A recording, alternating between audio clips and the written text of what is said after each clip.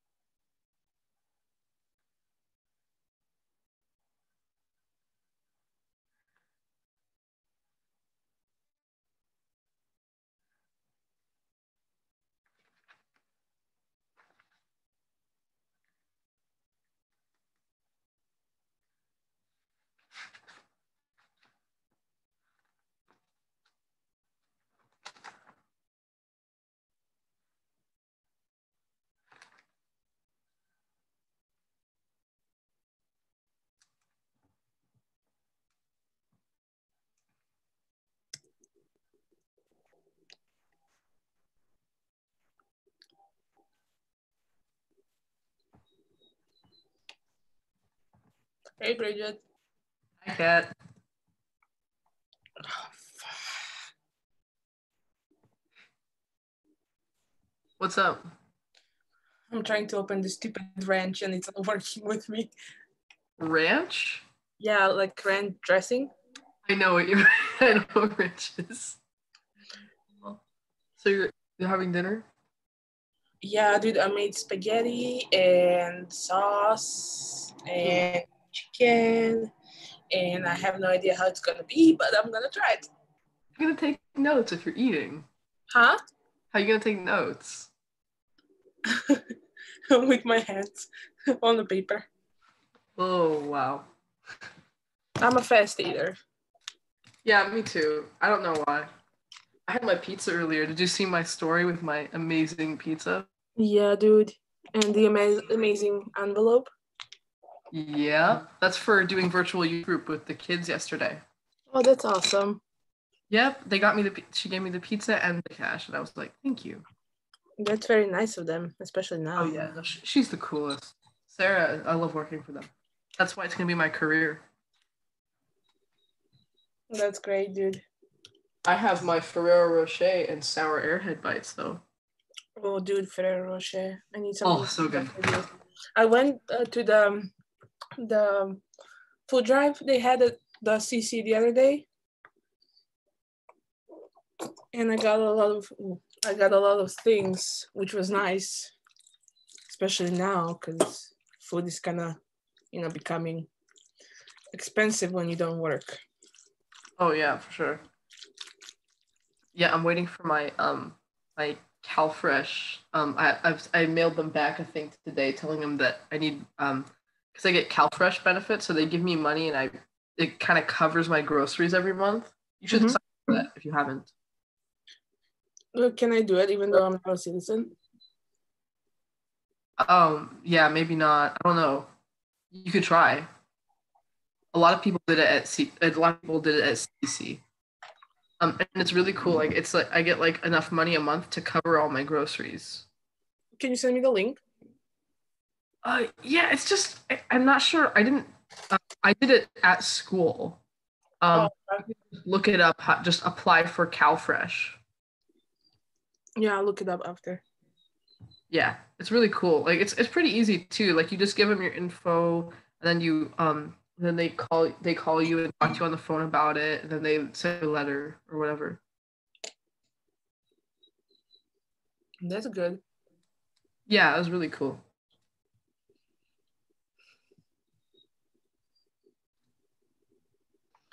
Hello, Katarina. Hey, Sean. Okay, so I'm, I'm back. I'm ready to go. You guys ready to go? Yes, I got Yeah. my look at my shirt. I got my cool shirt on. love I'm it. here at school. I'm at the geology lab because we have good internet here.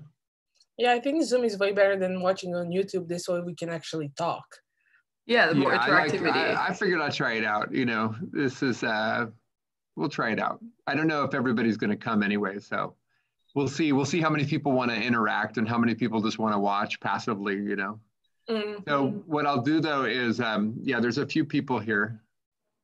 Uh, page, okay, so page zero zero B is the telescope page that we're going to look at. But otherwise, otherwise, we're going to take notes, right? yes. Uh, for the lecture, we're going to take notes. I'm write a note to somebody. Um,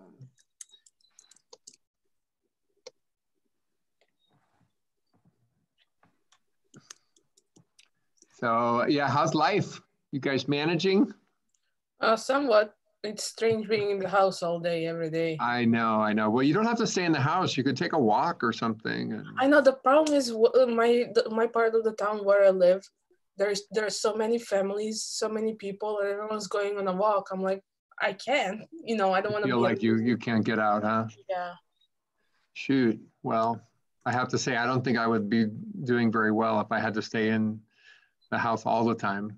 Like I've been escaping to school. Nobody's here, so Yeah. it's actually pretty nice to be here. But I, you know, I don't know what to say. It's it's very difficult. You got to be really strong. Yeah, I mean, I, get through this. I live with the older people, so I don't want to risk, you know. yeah, you don't want to expose them. Uh, that's Yeah. good. You're aware. Well, hopefully, I mean, things look look. I, I don't know what's going to happen, but you know, it looks like maybe there there's some good news, right? That the number of cases is not going up as dramatically as they as they were af- afraid of, right? Yeah, well, also the nice thing is what they didn't report is that you know globally, all of the people you know who are infected, two hundred thousand people got better. You know, they got healthier. They recovered. Exactly. They recovered. Yeah, recuperated. Yeah. Yeah, so that's nice. You know, nice num- number to see and know. Yeah. Well, the other thing I, I think is pretty exciting is they're talking about using the people who recovered, maybe their plasma can have antibodies, you know, so if mm-hmm. they're, you know, they're trying to look for ways to treat people. It might be that the, the people who are getting really sick, if they can get some some help, this is one one strategy that might work. Well, So, you know- what I've heard from my family in Europe, uh, in Italy, they found this vaccine that worked on, you know, a couple of older people, like over 70, and they both recovered. So they're trying to see if that vaccine is going to help even more people. So they're, you know, it's still in the testing phase. So if it works, they're gonna just hopefully distribute, you know, the, the vaccine and it's gonna help. Yeah, I hope so. Well, we'll see what happens. I got two of you guys here, so we we may be the only three here, and then we have uh, uh, a couple of people watching on YouTube. But I'm just going to go ahead and get started at seven, and then I think the rest of the people will, you know, if they don't come, they're just going to watch the recording, which is fine. It'll work but you guys are going to get it live. So if you have any questions, um, it'll be, uh, you know, you can ask the questions and I'll try to answer. But I think what I'm going to do is I'm going to give you guys, I'm going to do a, can you guys, um, oh, you can see it any way you want actually. Um, but I think what I'm going to try to do is, uh, well, I'll be sharing screen and stuff. I'll, I'll do it that way. But um, yeah, so tonight's lecture is about the telescope. And let's see, what else should we do? Should we try to um, talk a little bit about, I haven't seen you guys in a while. Oh, Sean, actually, I have a question for you. Sure, ask a question. So I've heard today that the Betelgeuse is gonna shut down, you know, quote unquote, that it's going Explode? away. Yeah. Is well, not not going to happen soon. It turns out. In fact, what's really fun is it's been brightening up again. And so it turns out Betelgeuse has been dim. Actually, maybe we can talk about it. You wanna you wanna talk about it a little bit? Let me uh, yeah, let me show you guys something. A presentation about you know planets and uh-huh. stars, and they were comparing them by size, which was very mm-hmm. interesting. You know, like when you put them one next you know other, you actually see what the difference is between right. Earth and Saturn or Earth and Jupiter. So you know mm-hmm. that was interesting, and they kind of stayed on Betelgeuse and said, yeah, this you know Betelgeuse is kind of gonna go kablamo and it's not gonna be not not for a while though it turns out yeah so one of um one of the adjuncts an adjunct who's teaching on wednesday night class actually his specialty is giant stars that explode. And that's what he's getting his phd in actually. So he oh, he was telling me um, that all of his simulations don't don't show anything like this. They show that the star will get brighter just before it explodes not get dimmer.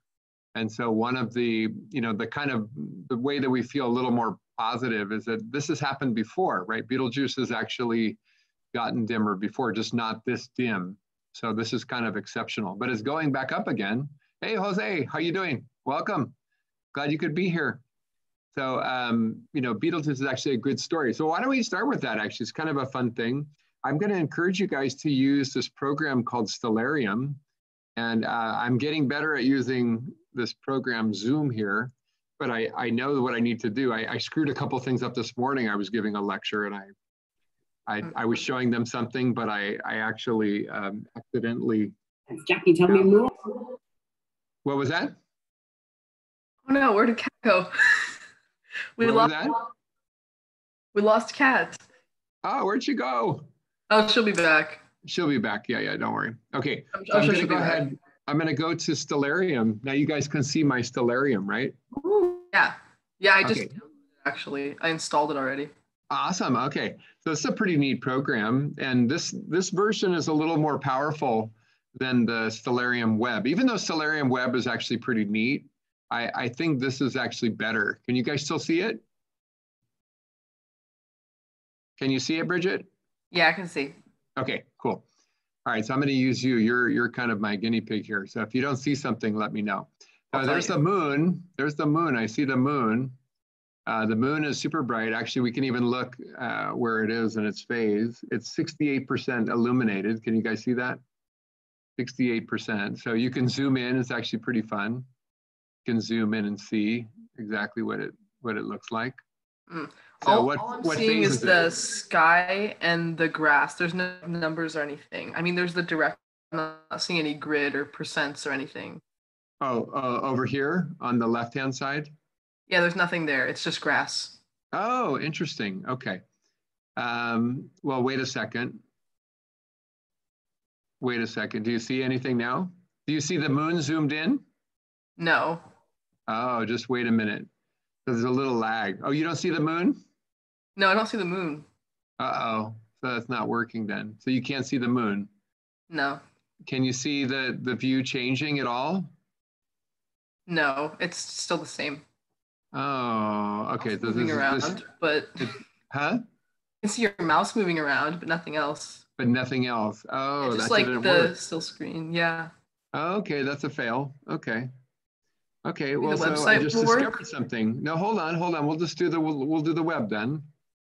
Um, so what happens is the program is not allowing it to be captured. That's okay.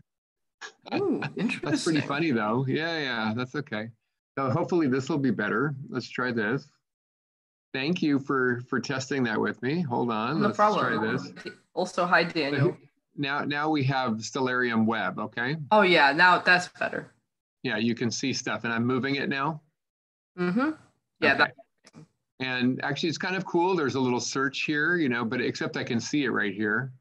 So there's Venus, right? Oh, and right now I, I actually clicked the, the wrong thing. Uh, I clicked the Pleiades by accident. So look at how close the Pleiades is to Venus tonight.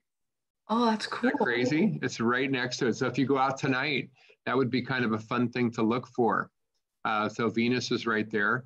So this program, um, the web version is not quite as powerful. Um, there's, you know, you can do a lot of the things, but it's um, it's just not as good as the program. But anyways, um, here is here are the constellations uh, outlines, right? So you can see Venus is in in uh, the constellation of Taurus right now. Um, but actually down here in the corner, I can click this and I can actually just change the date to tomorrow. Oh, And you can see something very interesting. Look at how Venus is moving, right? Day after day, Venus is just moving just a little tiny bit. Now, can you tell, is it moving towards the east or towards the west? What do you think? Um, it's going east, right? That's right, towards the east, right? So um, uh, it's actually going away from, it's going away from west. So that's how I know that it's going east. So interestingly enough, oh, wait a second, wait a second, something just happened. Look what happened. It stopped moving and it's fading away. So something's going to happen over the next month or so, maybe a month and a half. And Venus will continue to progress, but you'll notice, look at what's happening to the size of it in this program. Wow, What's it's getting happening? bigger. It's, well, I am going back in time. Oh, oh also it's shrinking. So When it goes let's forward. see, if you watch, it got, it's getting bigger and bolder and brighter right now. And then watch what happens as it progresses, what's happening. Oh, it's getting really small. And why Fading does that happen? Well, in this program, the size Is of it it re- reflects the, Is the, it uh, retrograde?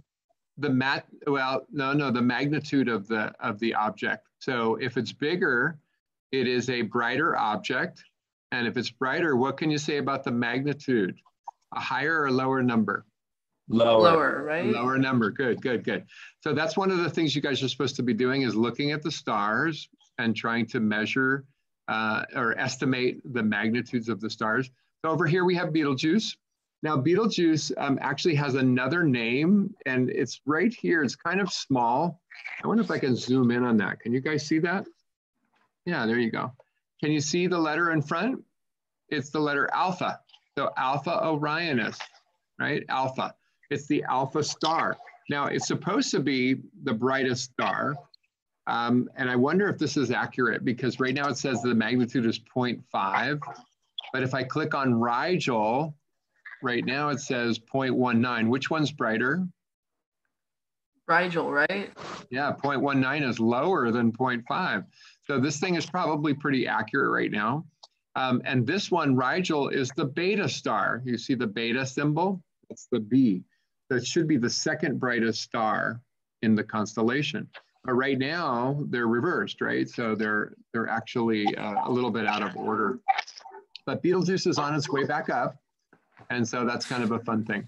So um, anyways, it's a fun little program. So one of the things you can do is start uh, practicing your constellations here, or not start, but practice constellations. And uh, let's see, here are some, some of the constellations. We recognize Orion and up here Gemini. I should turn off the lines, huh?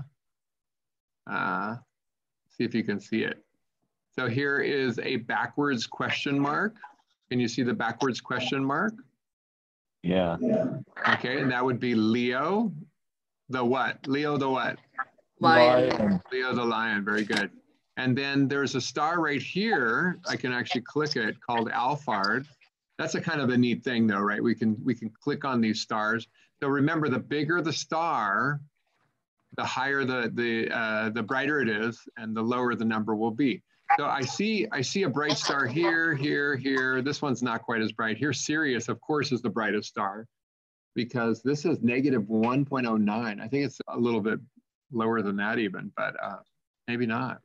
I don't know. That's pretty funny. It's supposed to be negative 1.5. Okay, what would this star right here be, which is also very bright? Right next to Sirius. Ooh. I'll give you a hint, right? It's actually a constellation right there. What is it? Oh, Okay, you it's- don't recognize Canis it. Procyon. Minor. Yeah, it's Canis Minor. Canis Minor, very good. And here's a pair of twin stars. What's this one right here? Alex. This one that I'm hovering over right now, what would it be? Is This is Procyon. This must be Pollux. Pollux. Pollux. And then what about the one right next to it? Castor. Yes. yeah. Castor, right? And then over here, the bright star, Capella, right? Capella, right? Capella. Yes. And I'm, oh no, of course. Okay, Capella. How about this bright star right here? See the V shape? Oh, it's um Aldebaran. Aldebaran, very good. So you can practice, right? This one right here, look at, this is Orion, so Yeah. Beetlejuice. Betelgeuse, Bellatrix. Bellatrix, Bellatrix. Rigel, Rigel. and Well, Theia. Theia. Right, very good. Uh, as you go across right here, uh, we'll go ahead and turn on the lines for a second, right?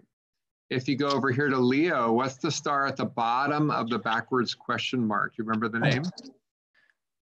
Is The Royal Regal Lion. Regulus. Regulus, very good. Regulus. And the tail star, anybody remember that one? Denebola. The nebula, very good, okay. And now let's look at our Big Dipper here because we're gonna use it. Here's the dipper, this is Dubhe, right? There's Dubhe. Um, but anyways, you choose the handle right here and you arc to this bright star. What's the name of the bright star? Arcturus. Arcturus, right? And then you spike sideways to this bright star. Spica. Spica, very good. Okay, so those are all the stars. Uh, do you see this one right here? It doesn't show you a name. Can anybody remember the name of this uh, constellation? Um, it's It looks like a goblet, it's crater crater, the cup. the cup. And now when I zoom in, you can see it, right? Uh, Ah. What was this one right here with just one, two, three, four Yeah. stars, right? Uh, is it that one's Corvus? Corvus, the Crow. the crow, right? Here's the crow and here's crater the cup. And then this big long snake right here where uh, is called Hydra, the water snake, right? Virgo, the maiden. What was this one right here? Boötes, the what? Herdsman. The herdsman. And what's the nickname because of the shape? The ice cream cone. The ice cream cone, right? The ice cream cone. So those are, that's pretty good. Oh, we left out one. Actually, right next to the moon tonight, there is a really cool little cluster. So they put Praesepe, M44. Who knows the name M44? What is that? It has a there's special name. beehive cluster. That's right, the beehive. There's the beehive, and there's these little buzzy bees around it. So you can actually zoom in and see um, see stuff. So do you think you can see it tonight with the moon? The moon's No. not bright, the moon will blind you. You will not be able to see it right next to the moon tonight. Anyways, this is a pretty fun little program. We're going to talk about your homework, uh, not homework, but your lab work in a few minutes. And we're going to be using this, um, even though I want you to use Stellarium, I'll try to make this thing work. Um, so let's go back to, uh, let's go back to this for a second. Just make sure we know what we're doing here. So um, you have to turn in page 12A, right? And actually, I um, I just changed this. So if you didn't you didn't do this, right? You didn't have a way to upload it, but right now it says submit assignment. I want you to put your pictures for the for the pages that you did, so that I can grade them. Okay. So you have until next week. So don't worry if you haven't done it. But if you if you didn't already watch uh, last uh, lecture before the break, the 19th, we went over exactly how to do this. So you could go look at that again if you want a little review. Uh, but it has to do with the star magnitude, right? So we don't have to be very careful. Please don't cheat because there's no value there. There's none at all. So just don't cheat. Okay, one thing that's missing is your um, your participation, and I have to actually make a quiz. I haven't made it yet. So unfortunately, I spent all this time getting ready for your uh, your lecture tonight, and and so I didn't actually make it. But um, I will I will tell you that um, I will have it up. I probably will not be tonight. It'll be tomorrow, and then you have you have a couple of days to do it. I'll give you till Sunday. Okay, so um, if you look under um, PowerPoints for the class, I have a new slide. So if you already downloaded the old PowerPoint, please grab the new version right here. And I'm gonna be using that tonight uh, as I go through the lecture. Um, yeah, what is this? What was that? Oh, that was, I don't know what that is. Stellar magnitude. Oh, that was the, that's a slide set I used last time. Okay, that's a new one, right? You guys, I'm doing all this new stuff for you. I'm very happy about that, actually. I That's very exciting. Yeah, Yeah, it's good you. stuff. You're welcome. My pleasure. Okay, so we are going to go ahead and get started then. So what I want you to do is, um, let's just see who's here. Let's see who's here right now. We got Daniel. All right, Daniel. How's it going, bud? Good, good. And you guys see? You can't see my face yet. Let me see. Let me say hi. Hey, man. Hello. Nice to see you. we got a couple of people on Zoom. Let's see who's on the other one, the YouTube. And we got, oh, not too many. We got, we got Irvin. Irvin, you're here. Good, good, good. Everybody else is going to watch the recording, I guess. Uh, that's fine. You guys are here. I'm here. We're going to have fun. Okay. So um, what I'm going to do now is show you guys a little lecture on telescopes. So you want to take, you're in a hospital, dude. What's going I'm in on? the, I'm in the airstream. Oh, you're an Airstream. Oh my God, I I thought it was a hospital. I'm like, oh, that's awesome. You have an Airstream? Yeah. That's nice. How fun.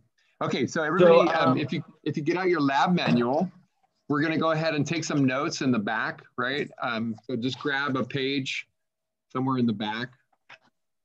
I don't know. You guys have blank paper. You could use blank paper, use line paper, whatever, and then just call it the telescope lecture.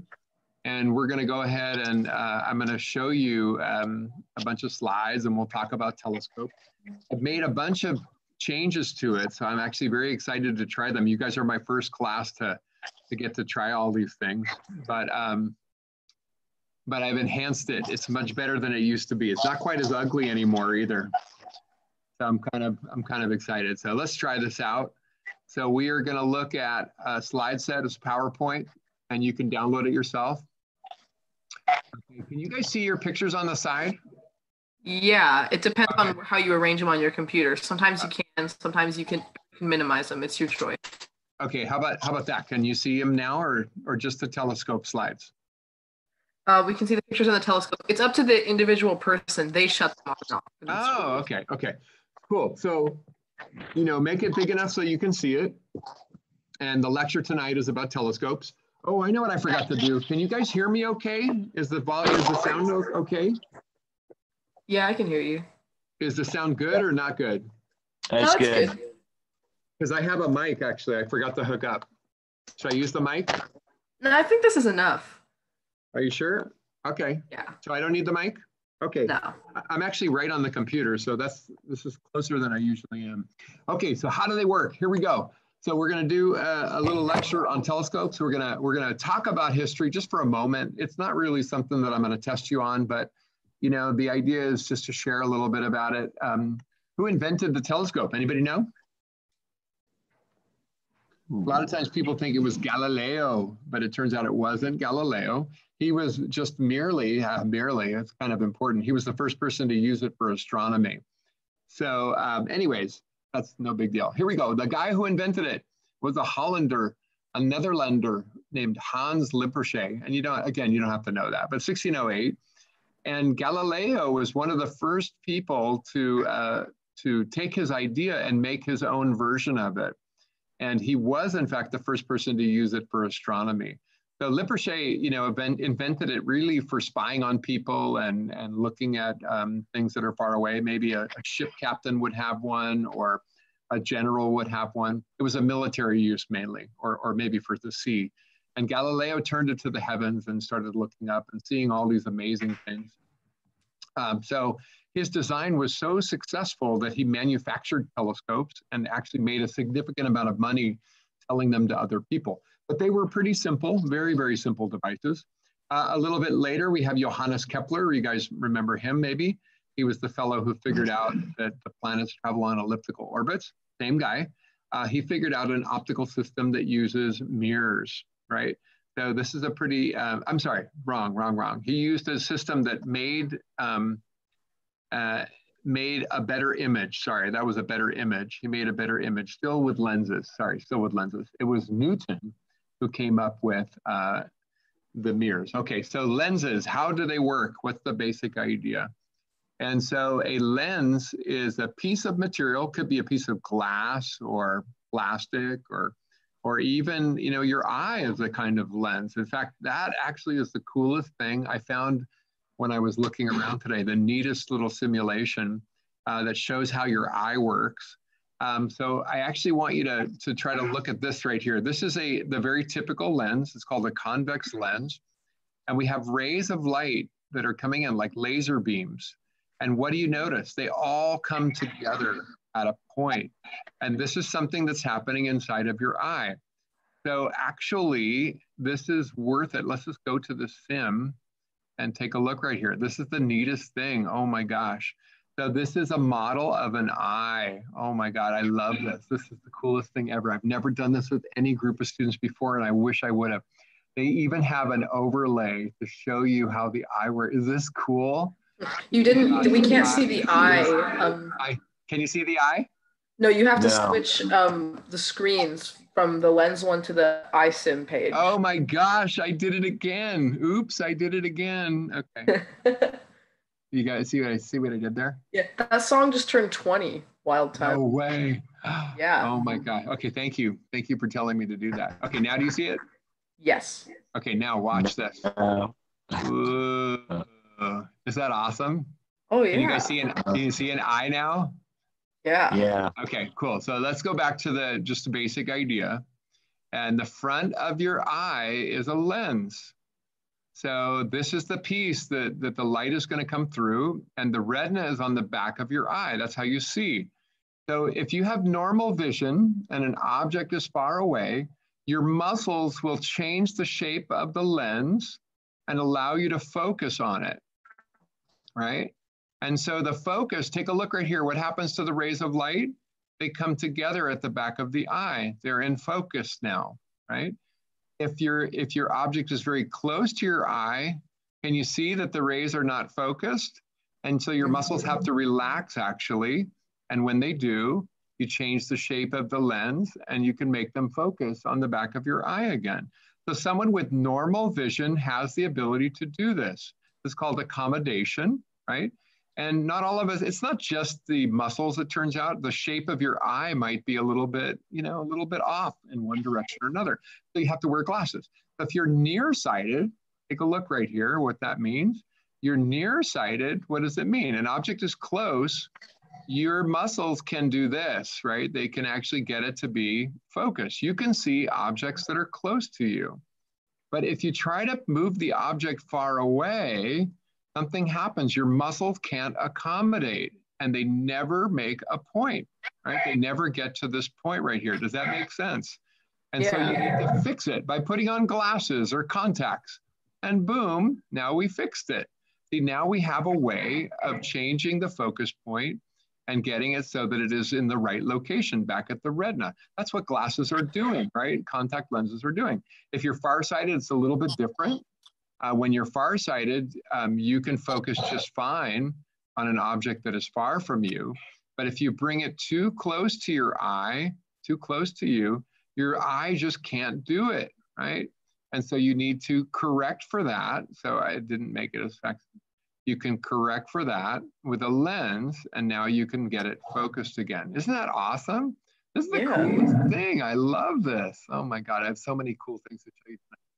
Okay, so that is a, um, that's just a little description. But what you see is the eye is a lens, right? The eye is a kind of a lens. And so it takes the light and tries to bring it to a point. Okay, so I'm gonna, can I just switch share? Oh yeah, new share, that's it. Oh my gosh, I'm gonna be a pro by the time we're done. Yeah. Oh, I got it. Now, do you see a slide again? Yes. Yeah. Okay, cool. All right, so um, this is called the focal point. Maybe you should write that down. Oh, actually, I have a slide coming up that'll show you that. Okay. So actually, right, right here, there are two kinds of lenses, and I mentioned them a, a few minutes ago uh, uh, that that Kepler uh, actually came up with a combination telescope that used both kinds. You don't have to know too much about this, but I just want to share it. It's something that you can understand. There are two basic kinds of lenses. One is called a convex lens. This is a more typical lens. This is what your eye is doing. This is what a magnifying glass is doing, right? This is, this is a more typical, this is what most telescope lenses begin with, right? And so the rays of light come in and they converge, which means go to a single point. So the disc, so you should draw a picture just like this in your notes, right? Draw a picture. And because you need to know something important, right? The fact is, number one, it comes to a point, right? And number two, it's a certain distance. There's a certain distance required to make it come to a point. And this is called the focal length.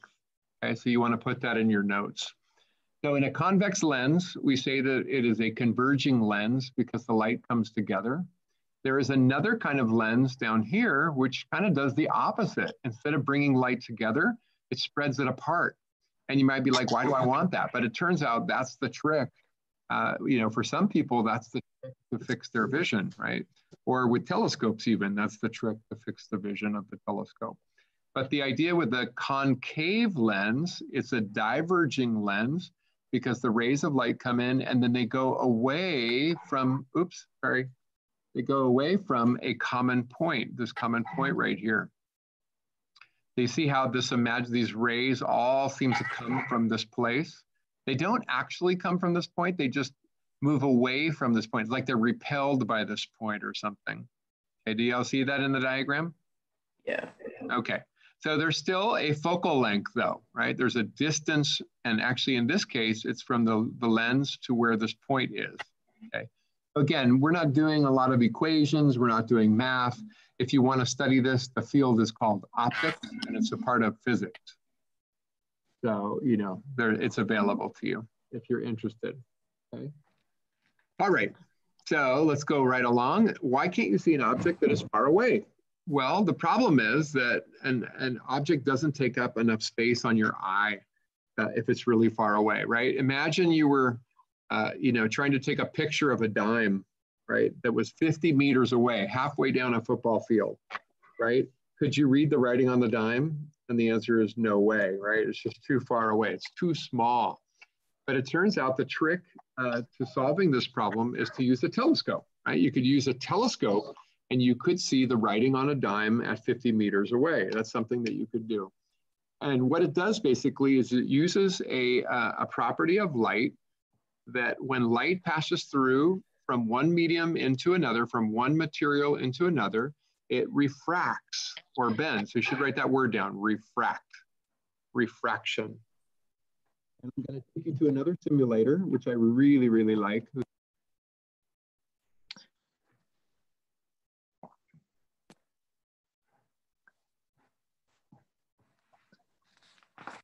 This is uh, PhET. I'm going to go there right now. So probably I have to switch again. So I'm going to click the link and then I'm going to go ahead and uh, new share. And boy, I'm like a pro. Check that out. Went right to the thing, right? Oh, yeah. okay. So take a look right here. We got our introduction. Ooh. We have got a laser beam. This is a laser. Okay. This is so fun. Now you'll nice. notice that this is this is like air up here in the white, and down here is probably like water. But there's a little slider over here um, that you can play with, and I encourage you if you want to learn a little bit, just have fun. Uh, play with it a little bit. Look what happens, right? I go to glass, or even go past that, or if I go back, I go back, back, back, back, back, and if I turn it into air, what happens?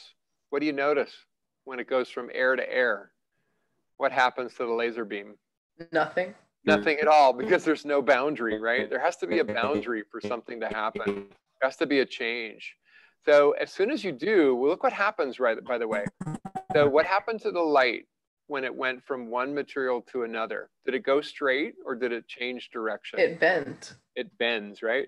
So you can actually, we're not doing this. This is not what I'm doing, but I'm doing it. Oh my God, I love this. I want to just do this, but you guys, you really don't need to do this, right? So right now, I would say the angle is 60 degrees, right?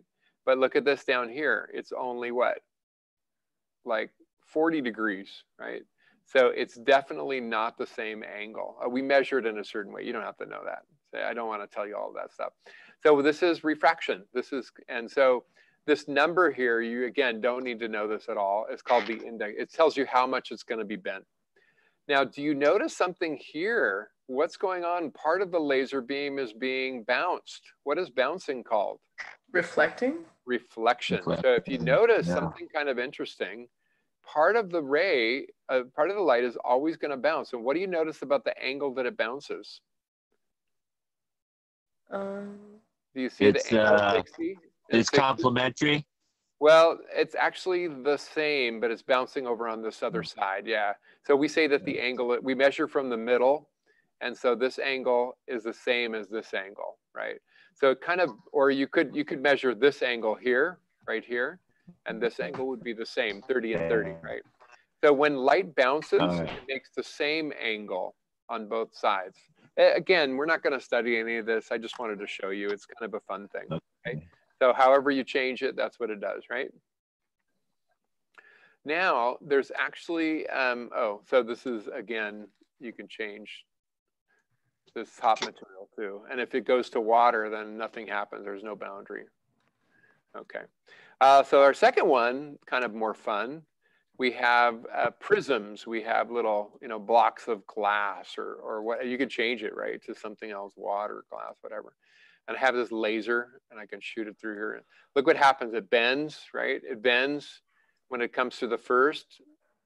Oops, hold on, I missed. Okay, bends. Let's see if I can really bend it. See how it bent when it came to the first? Oh, and that doesn't look like it bent. That's actually a little secret. Again, you're not supposed to know that. So why am I telling you? I don't know, just for fun. If you if you make a laser go straight uh, into an a piece of glass at a 90 degree angle right here, then it goes straight through. It actually doesn't get bent. The rays that get bent are the ones that are at some kind of an angle. Okay, so that's kind of a crazy thing right here. So it's all kinds of crazy things you can do. Anyways, you see it bending bouncing and bending again, right? This is kind of cool. Uh, also, this one lets you change the color of the laser beam. Isn't that fun? That awesome? And you're like, why do I care, Sean? you're gonna see in just a minute why you care. This is the coolest thing ever. There's a whole bunch of beams, right? Isn't that fun? God, I just yeah, wanna... that's really cool. I know you just play with this stuff. Okay, so that's cool. That's cool. Anybody like Pink Floyd? Yes. Pink Floyd, Dark Side of the Moon. Yesterday, actually. You were what? I did a whole class on Pink Floyd yesterday. No way! That's crazy. Yeah. And we studied how um, Dark Side of the Moon lines up with the Wizard of Oz story. The whole album is based oh, on. I heard about that. That's crazy. Okay. It's so cool. wild. You can watch the movie on YouTube lined up with the with the whole album with the song. With the wall or what? Which one? The wildest thing. Oh, the wildest things, and it matches, huh? That yeah, all so the songs crazy. line up with different scenes. That's crazy. Okay, so what is this called when the light bends when it goes from one material to another? Refraction. Refraction. Everybody got the word right now. I want to. I don't want to. I don't want to tune you guys in too soon. But now we're going to put on white light. Refract. Okay. Uh, refraction is what happens when it bends, and I want to show you this really cool thing right here. Look what happens. Do you see it? The light is bending, but look at what happens when it comes out the other side. Does the do the different colors bend the same amount? What do you see? Mm. You see how they're spreading? Yeah. yeah. The reason they're spreading is because different colors bend different amounts. Which color bends oh, the most weird. and which one bends the least? Red and blue. Yeah. So red, and this is actually violet. You can't see it. Violet. Yeah. I'll show you another version of it that's even clearer, and you'll be able to see it. So the the red bends the least, and the violet bends the most.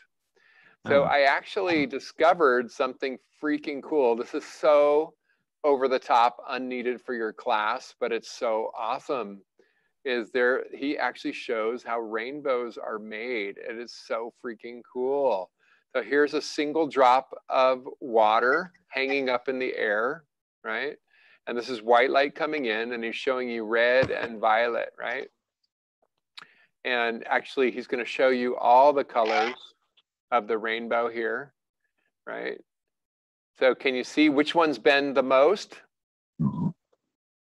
The violet bends the most, and the red bends the least, right? So Hmm, let me just show you, let me zoom out now. So you're down here on the ground. When you look up in the sky, which color will appear to be higher in the sky? And by the way, there's not just a single drop, there's all kinds of drops coming from all over the place. But you have to look at a higher angle to see red and a lower angle to see violet, which means when you look at pictures of rainbows, which color will be on top? The red.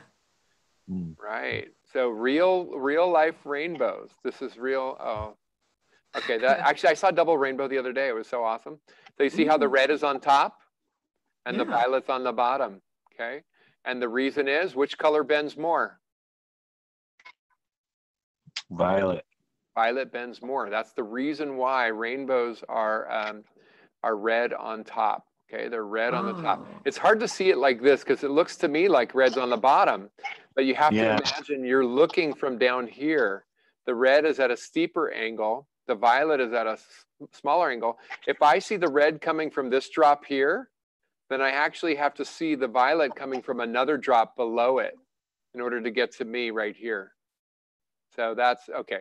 Now, anyways, um, have you guys, you've heard about the second rainbow, right? The secondary rainbow? That happens when there's a second bounce.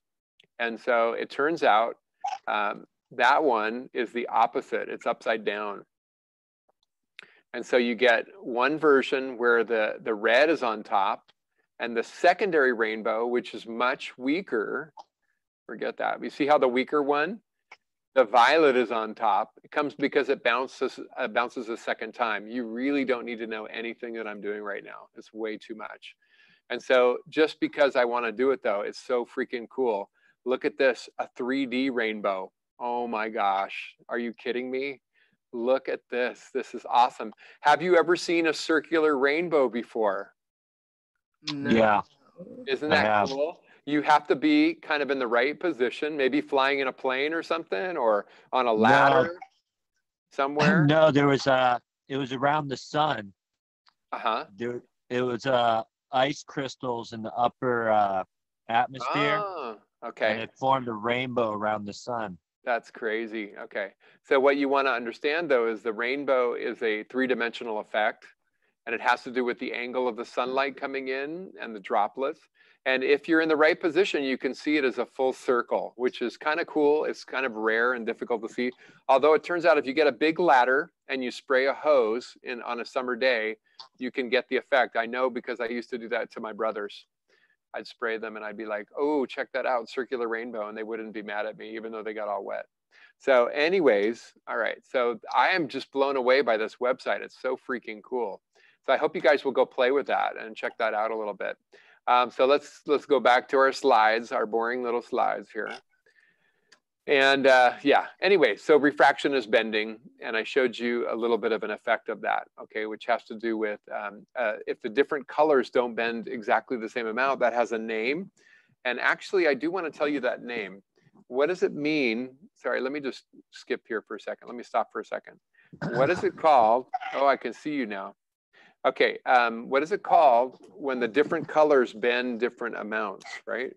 So you want to write down the name for this. So different colors uh, refract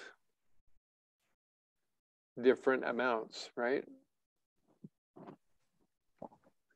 And which one uh, refracts most, right? Violet Yes. refracts the most, right? And red, the least. Oops, least. So what does this mean? It turns out that in, in, a, in certain uh, telescopes, when you try to focus the light, you can't focus all of the colors because they don't bend the same amount. Does that make sense? You can only focus one color at a time. And this has a name, right? It's called chromatic aberration. How do you spell aberration? ABB, I think. I don't know. I could be wrong on that. Chromatic aberration, right? You can you can't focus all the colors. So you begin to see a kind of a rainbow effect because the colors are spreading uh, because they're bent different amounts by the optic.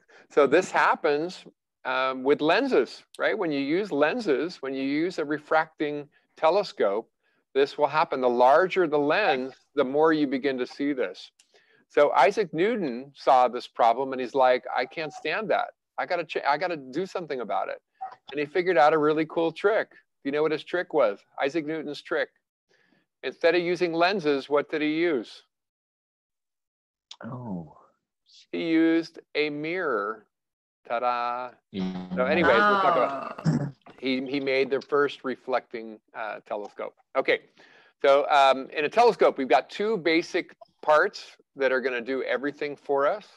And so you want to write down these names. The first one is called the objective lens, and that is a refracting telescope.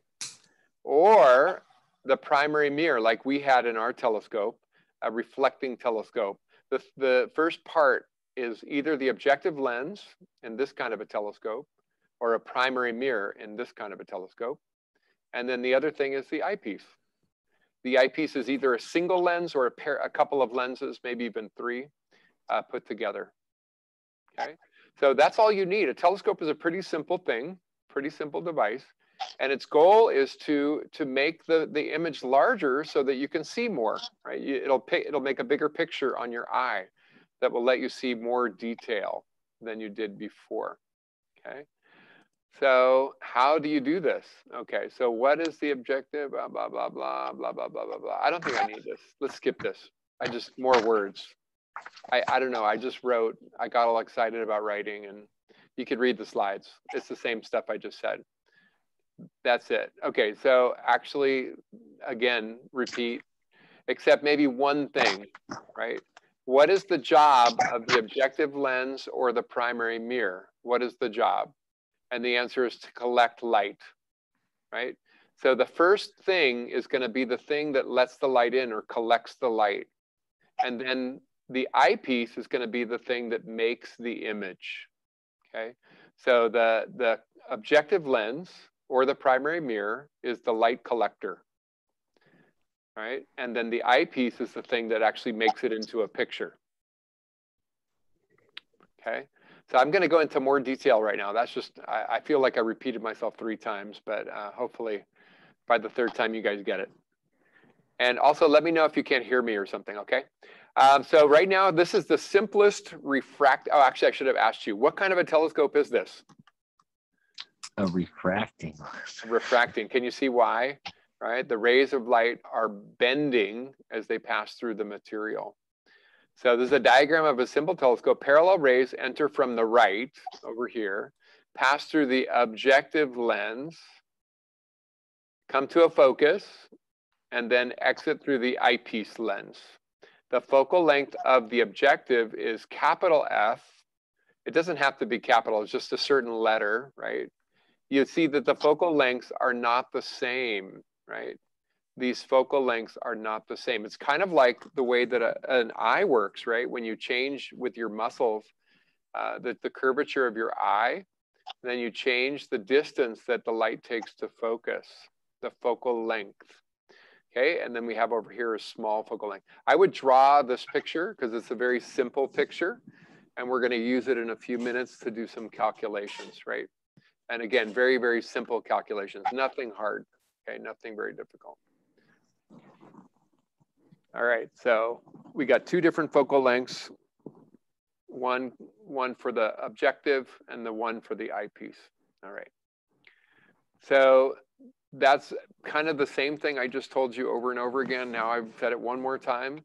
there are two properties that you have to worry about, collecting the light and then magnifying the image, okay? So the size of the objective is essentially the size of the opening, and you should write this word down because we use it. It's called the aperture. It's the opening at the end of the telescope that lets light in. And the size of the opening is always incredibly close to the size of your objective lens or your primary mirror. It's always going to be very close to that.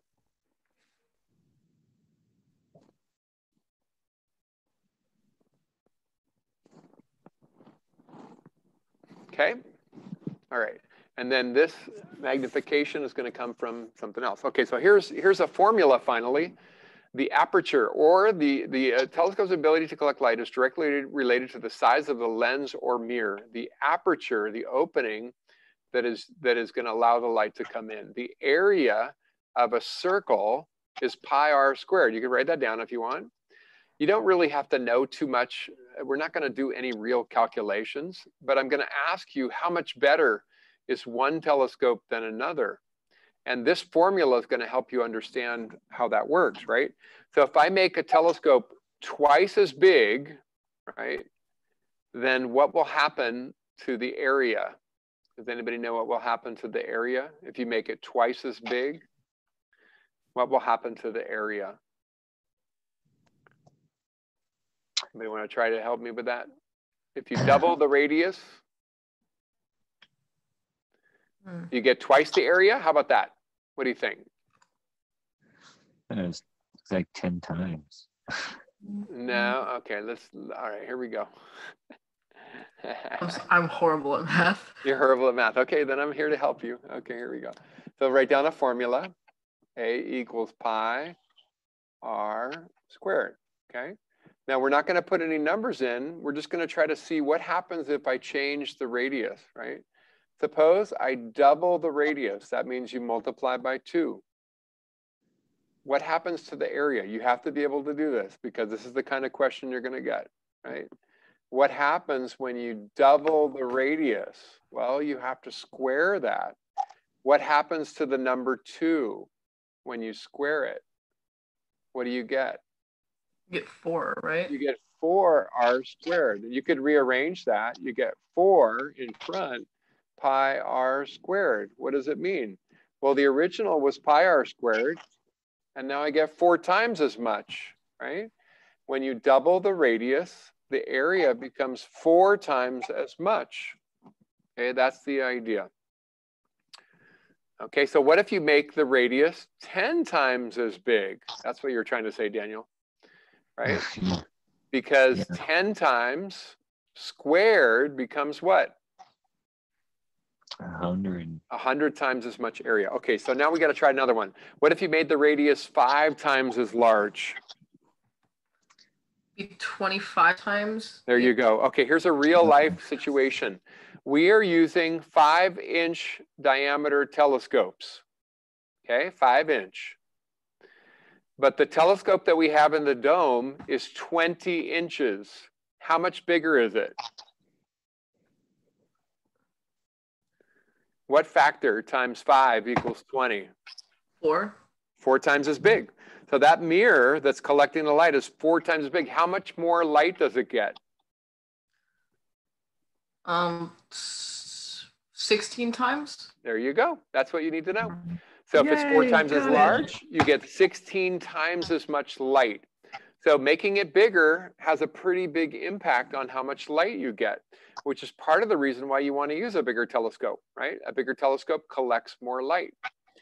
Okay, so the next thing is magnification. And this is like one of our only formulas that you have to even bother trying. And, and even then, I'm not going to even put numbers in really, but I showed you a sample calculation. But the telescope's magnification, its ability to enlarge an image, depends on the combination of the lenses, right? The, this was capital F in that previous diagram. And on the bottom, I have the focal length of the objective on the top and the focal length of the eyepiece on the bottom. Please write that formula down. And you don't actually need to use it very much, but you need to understand how it works, right? So um, I even did a calculation in our celestrons. The focal length of the mirror is 1250 millimeters. And if you remember, which eyepiece do we start by using? We always start by using the 25 millimeter eyepiece, right? Yeah. And if you divide those two numbers, you get 50. So it's a magnification of 50x, right? 50x we sometimes put, it makes it 50 times as large, 50 times as large, okay? So this is the kind of question that you're gonna get. What would happen if I used a smaller number eyepiece focal length, right? Instead of a, a, 50, a 25, maybe I use the 18 or the 12 and a half. What will happen to your magnification? It will get bigger, bigger, right? It'll get bigger. You're dividing by a smaller number. So your magnification goes up. Okay? That's it. That's all you really need to know. Now, do you change this very often when you're using a telescope? The top number is the focal length of the objective or the mirror, the primary mirror. Do you change your primary mirror occasionally? No. You uh, never do. You only change the eyepiece. So how do you change magnification? by changing the eyepiece. How do you make the eyepiece, how do you make the magnification high? What do you use? Smaller eyepiece. A smaller focal length eyepiece. How do you make the magnification small? Bigger eyepiece. Use the bigger number for the magnification. Why do you think we start with 25 every time? Is it the highest or lowest magnification? Mm. The lowest? That's the lowest magnification. We want to start by using the lowest magnification, okay? All right, so if you ne have never noticed, did you ever notice? I'm sure you did. The finder scope does this too. When you look through the eyepiece, what happens to the image? It's upside down, right? That's kind of cute. And blah, blah, blah. Okay, we're actually, I'm gonna skip this slide. It's cool, but I'm gonna skip it. But remember the word, the word field of view? Remember that word? Yeah. Yeah. Actually, you know what? Let me do something with you guys. I have a new thing that I just discovered. I've never used this before, and it doesn't even work anymore. It turns out, um, except that I I did a little hack on my computer so I could use it. But it's um, it's a virtual telescope app. Okay, mm. so this is a virtual telescope app. Okay, so I've never used this before with students, but here we go. You guys are my guinea pigs. If it doesn't work, it doesn't work. There it goes. Okay. So can you guys see a, a bunch of numbers up here and a slider? And can you see a picture of the moon? Yes. Okay. Yeah. So here's my focus knob right here. And does it look clear or, or blurry? Blurry. Blurry. Blurry, right? So you have to focus it. And I'm turning a knob, right? Right. Trying to get it nice and sharp. Okay, so I got it, I got it in focus pretty much. So what I want to do is play around with the eyepiece. I want you to predict for me what will happen when I switch to this eyepiece here. What will happen to the size of the moon in my image? Bigger? Okay, can you tell me how much bigger? How is 20 compared to 40? It's twice as big. It'll be twice as big. It's half as, as big. So the, the image will be twice as big. You're right. Look at that. Take a look. Does that make sense? It got bigger, right? And now it's not quite focused on. Yeah. Yeah. It's, so it's about double the size. What's going to happen if I make it 10? It's going to double. Will I be able to see the whole moon in the in the field of view? No. Not okay. anymore, right? It's too big. I can't see the whole thing. So I'm zooming in on just part of the moon. Does that make sense to you guys? So I'm changing, what am I changing right here? The magnification. Size of the focal length of the eyepiece? That's right. But, I, but by doing that, I'm changing the magnification. Okay. Now, I was hoping you guys would have an opportunity to see this little beautiful planet, my favorite. Mary and I went the other day, got up early. We got up at 4.30 and got out the telescope and looked at it. It was so fun. So, um, but anyways, maybe maybe there'll be an opportunity. I don't know how but maybe. I might actually get up early with a telescope and, and then videotape some of my stuff so you guys can see it too. Anyways, there's, there's Saturn. It's awesome. Here's a cluster. Let's go back to this. Got a star cluster. There's a star. Oh, this is a pretty cool thing. It's called a globular cluster, right? And if I zoom in, right, I have to adjust the focus every time because it's a little bit off, right? And so I can start to see more detail, right? Now, we also, um, there's another little detail. We don't go into it too much in this lab, but it turns out that the size of the telescope really does matter, right? What does it do if it gets smaller? Does it collect more light or less light? Less. So what do you think will happen to my image? What do you think? Uh, it, hmm. Smaller Smaller? Okay, might get smaller. Okay, anything else? or not as bright. Not as bright, exactly. Not as bright. So you see what just happened? It's dimmer, right? I can switch back so you can see it. See how it's big, a little bit bigger. So that there's a magnification effect, but the main thing I want you to think about is uh, the dimming. See how dim it is? The smaller it is, because we're losing light. We don't have it. How much less light is in a four inch than an eight inch? Um, twice. Half, It's not twice. What is it?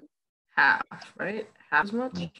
It's Half one square. half, but remember what the formula is? Pi r squared. What's half of a half? Oh, fourth. It's A one fourth. fourth the light, right? It's one fourth the light.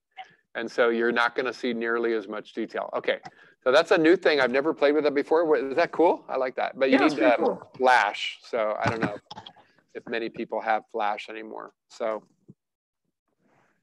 I think I will probably not be able to show them, but they saw a little bit. Okay, so here we go back to the slides. Um, I'm not going to worry too much about this, but there's um, there's something called apparent and true field of view. The field of view is the angle of the sky that you can see, right? The angle of the sky.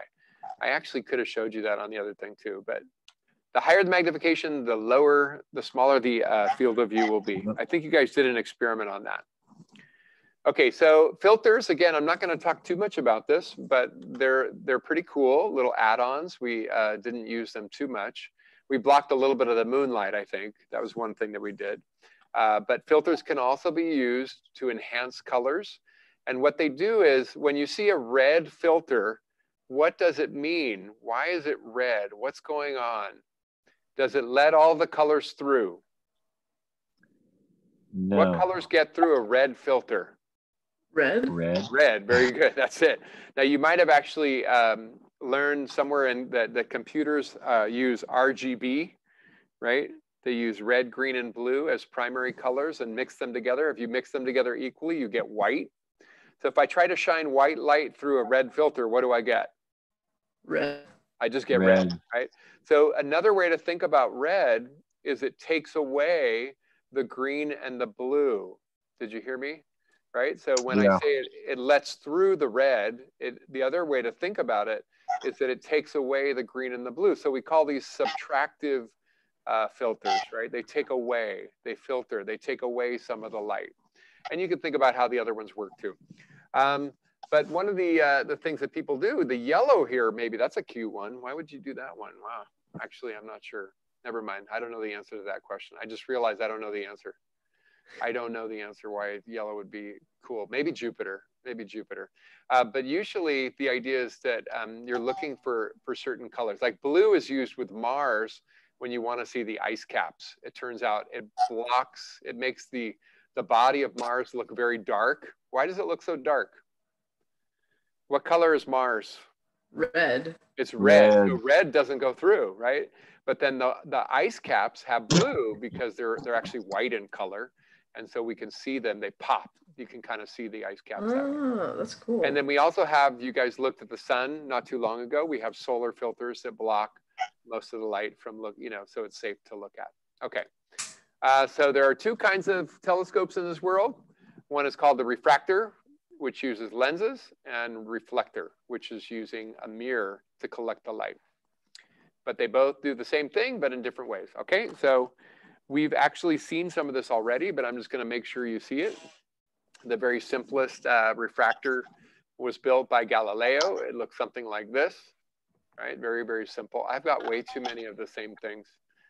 Uh, so here's a refractor. We've got the objective and we've got the eyepiece, okay? And the light comes in and it comes out, okay? It's pretty simple. very basic principle, okay? The distance from the lens to this point is called the Focal length. Focal point. focal length. Yeah, that's the focal point. Focal so the distance is the Yeah. focal length. And you notice that the focal lengths are not the same. Usually the objective has a much longer focal length, okay? And um, another picture. Um, so actually in the early days, these were the best telescopes. Um, and they tried to make them bigger and bigger. It turns out that the lenses, as they got bigger and bigger, got so heavy that they had to use heavier and heavier uh, metal to keep them to, to hold them up right? These casings right here this body this optical tube is what it's called um, got to be so heavy that you needed an incredibly strong machine just to hold it up. So if you look at the old-fashioned telescopes uh, you know from the from the 18 to 1900 early 1900s these there were enormous machines. Uh, nowadays they're they're still enormous but they're very much lighter, much lighter weight. They're actually still pretty heavy, by the way, but um, but for the size, they're incredibly big. They're not refractors anymore. They started to use reflecting telescopes. So the largest telescopes are all reflecting telescope. But uh, astrophotography still uses them because the optics uh, can be very good. and get wonderful pictures. Okay, so then Isaac Newton comes along, 1680. And remember the word chromatic. Oh, I misspelled aberration. Oops. It's double R, not double B. Sorry about that. Oops. Good thing I have it here. So Isaac Newton invented the um, the reflecting telescope, and and what that did is it got rid of chromatic aberration. And he had to he had to figure out a pretty cool trick. He used a spherical mirror to focus the light, but it turns out that it would just focus it back the way it came. So he had to use a second mirror to get it to come out. Uh, and then later on, uh, Hadley uh, perfected and made a better design uh, that we actually use today. Uh, so what do they look like? Here's a, here's a couple of examples. Uh, so the original Newtonian right here, the light comes in the opening. What's the opening of the telescope called? The aperture, right? And instead of going through a lens, it goes all the way to the back of the telescope where you see a mirror, the primary mirror. And the rays of light are trying to come together. They actually would come together maybe right out here. But what happens is you put a second mirror in the way and it bounces it out sideways. Here's where you're going to put your eyepiece. You're going to put your eyepiece out here. And so you can look through the side of the telescope at whatever it is you want to look at. So if you didn't do this, you would actually need to put your head up here. And that would actually block the light from coming in in the first place. So not so great. Uh, there's a second one. Uh, uh, sorry, the next one. Uh, let's look at this one. Coude. Uh, again, I don't know why we have all this, but it's kind of cool.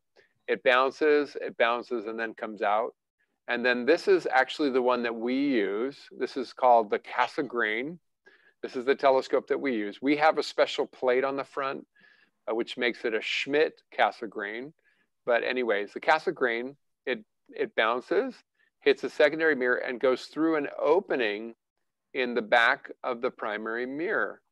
Okay, it's called the visual back. We'll come back to that when I show you your telescope, the telescope that we use. Okay, that's called the Cassegrain. So write down Cassegrain just so you know what kind of telescope you were using. It's called the Schmidt Cassegrain. Okay, we'll talk about that more later. So I actually, you know what, I just realized I have another little thing I want to show you, just very, very quick. But um, I have these cute little What's going on? I don't, uh, there we go. Not that. Hold on. I got something. I got something for you. I have these cute little things. Um, these are very old school, actually. In fact, you can't you can't do them anymore either because they use again they use flash. Uh, but anyways, darn that flash. Okay, let's see if this works. Okay, so here is just a little little story here. We can look at the light path. The yellow is the light path. We're dissolving the light, and you can see the light coming in. It's focusing. Now you'll see there's an interesting thing. It never actually crosses over in this picture. And it turns out that is another way to do it. You don't actually need to, to, to, to focus to a point. It can just try to focus to a point, and then the second lens, the eyepiece lens, is going to intercept it and make it come together and form an image. Okay. So what is the front lens called? Aperture. The well, the opening is called the aperture. The, the front mind, lens is called the objective lens. The objective Objective. lens. Objective lens. And then we Mm, have the eyepiece lens, a little mini telescope here, which is called the what's this called? Eyepiece. The finder scope. Remember the Finder. finder scope? Okay. And this is our optical tube right here. Okay. And then I have another one. Hold on. Um, this is a Newtonian. One second. So here we go, a Newtonian. This is a Newtonian telescope, right? The light comes in this side here and bounces off of a mirror at the back of the telescope, right? And then comes in and bounces off a flat mirror here. And this is this is kind of like a diagonal actually. And here's your eyepiece that you're going to look through. Okay, so it's called the Newtonian telescope. Newtonian. So what is the name for this mirror that catches the light in the first place? The primary mirror? The primary mirror. Okay, the primary mirror. Okay, so what's the light? What's the the mirror called that bounces the light? Secondary mirror. The secondary mirror. Okay, it's pretty simple. Okay, and our last one is the Schmidt Cassegrain or Schmidt um, Schmidt telescope. And that one, hold on, here we go. So this is our telescope. So again, same idea, right? Except this time the light comes in the front. And remember that little circle that we have on our telescope? That is actually the secondary mirror, right?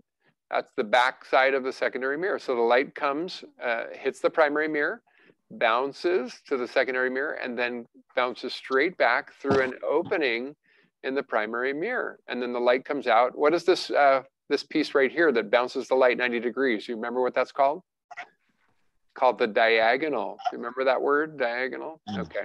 And then the eyepiece is stuck into that. You got your little mini telescope right here called the Finder scope. finder scope. The three legs are called the Tripod. I know, Tripod. these, these are pretty easy. These are pretty easy questions, I know. But you know, I got to make sure you know everything. You know all of this stuff. Okay. All right. So back to the slides then. I'm almost almost done. Let's see. A little bit more. All right. Hold on. Coming back. How you guys doing? Good. You okay? Good. Okay. All right, so back to our story. It turns out that not all the light that we want to look at is visible light. Okay, so the telescopes we've been describing are really optical telescopes, right? Visual, I'm sorry, they're called visible light telescopes. Uh, but as a matter of fact, nowadays we look at light in all kinds of uh, uh, frequencies. And uh, you know what's higher frequency? What's higher frequency than, than visible light? You would say ultraviolet, X-ray, Mm. gamma ray. What's lower frequency than visible light? Infrared, And radio. This is also radio, radio, radio, radio. This is all radio. Actually, microwave should have been in here. Sorry, microwave and then radio. Uh, this is an old school, man, it's really old school. Uh, so we have radio telescope, X-ray telescope, infrared telescopes, um, gamma ray telescopes. We have all of these. Uh, microwave telescopes, all of these, okay? Um, all right, but they are not necessarily the same. They don't look the same. And I actually have a few different telescope links here. Again, this is just for you if you're interested. I was supposed to visit this last week and I didn't get to go to Hawaii.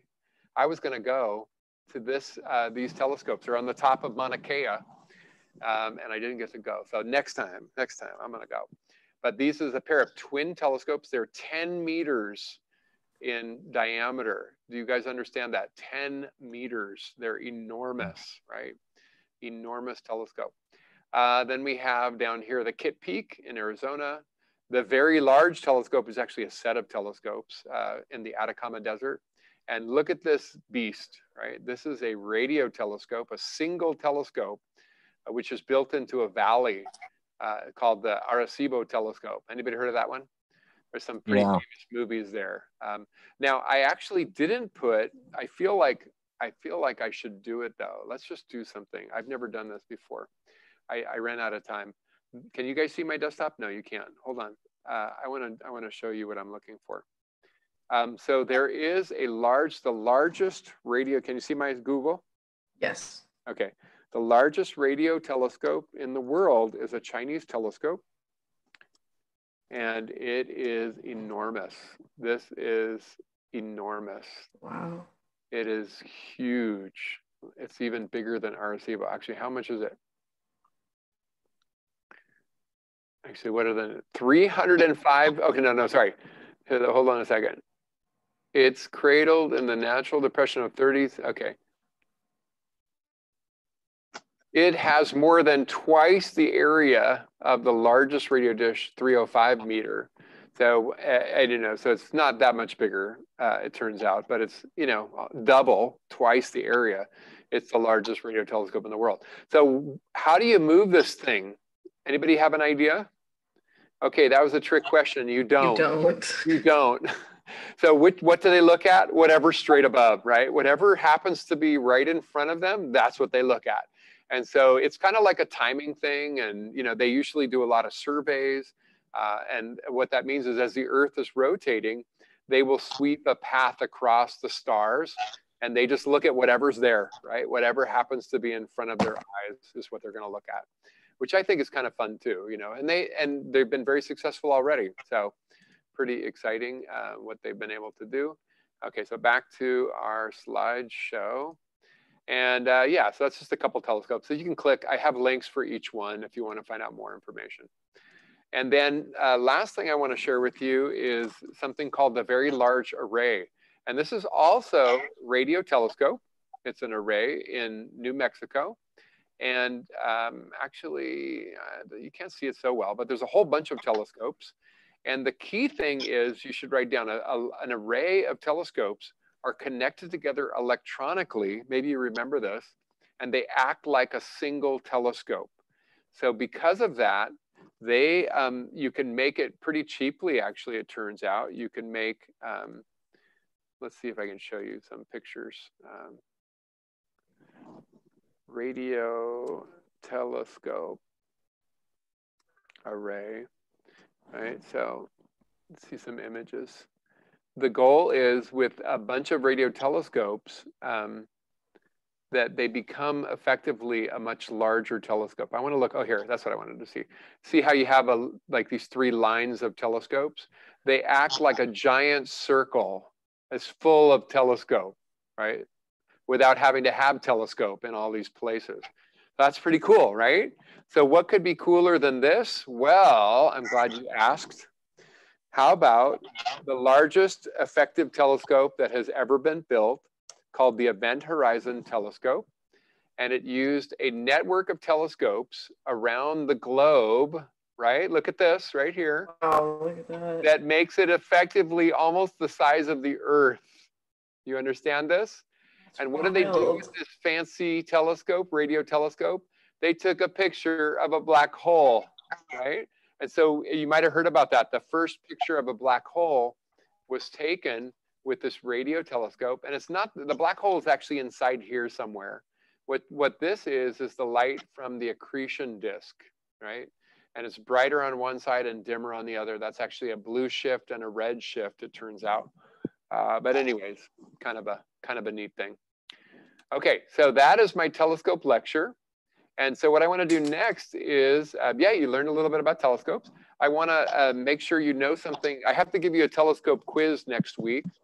Um, and so there is a study guide already on Canvas. Actually, I can show you where that is. Um, Actually, before I do, let me just make sure. Does anybody have questions? Uh, Urban, you are saying everything. Okay. And, and a couple other people on there. That's great. Hi, people. Hello, everybody. Um, so let's see. We're going to go ahead and switch cameras. So we're going to need to, oh, I was going to show you. Sorry. Before I do that, let's go ahead and go back to, um, go back to here. If you go onto your files, you can find your study guides and you can find a telescope review. There's a little uh, work, a little review right here. Okay.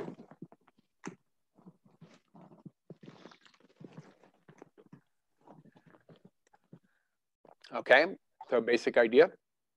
Okay, now we're gonna go over this right now. So blah, blah, blah. Okay, so there's a review here. Um, but mainly um, what I just talked about on that slide set is what you're gonna need.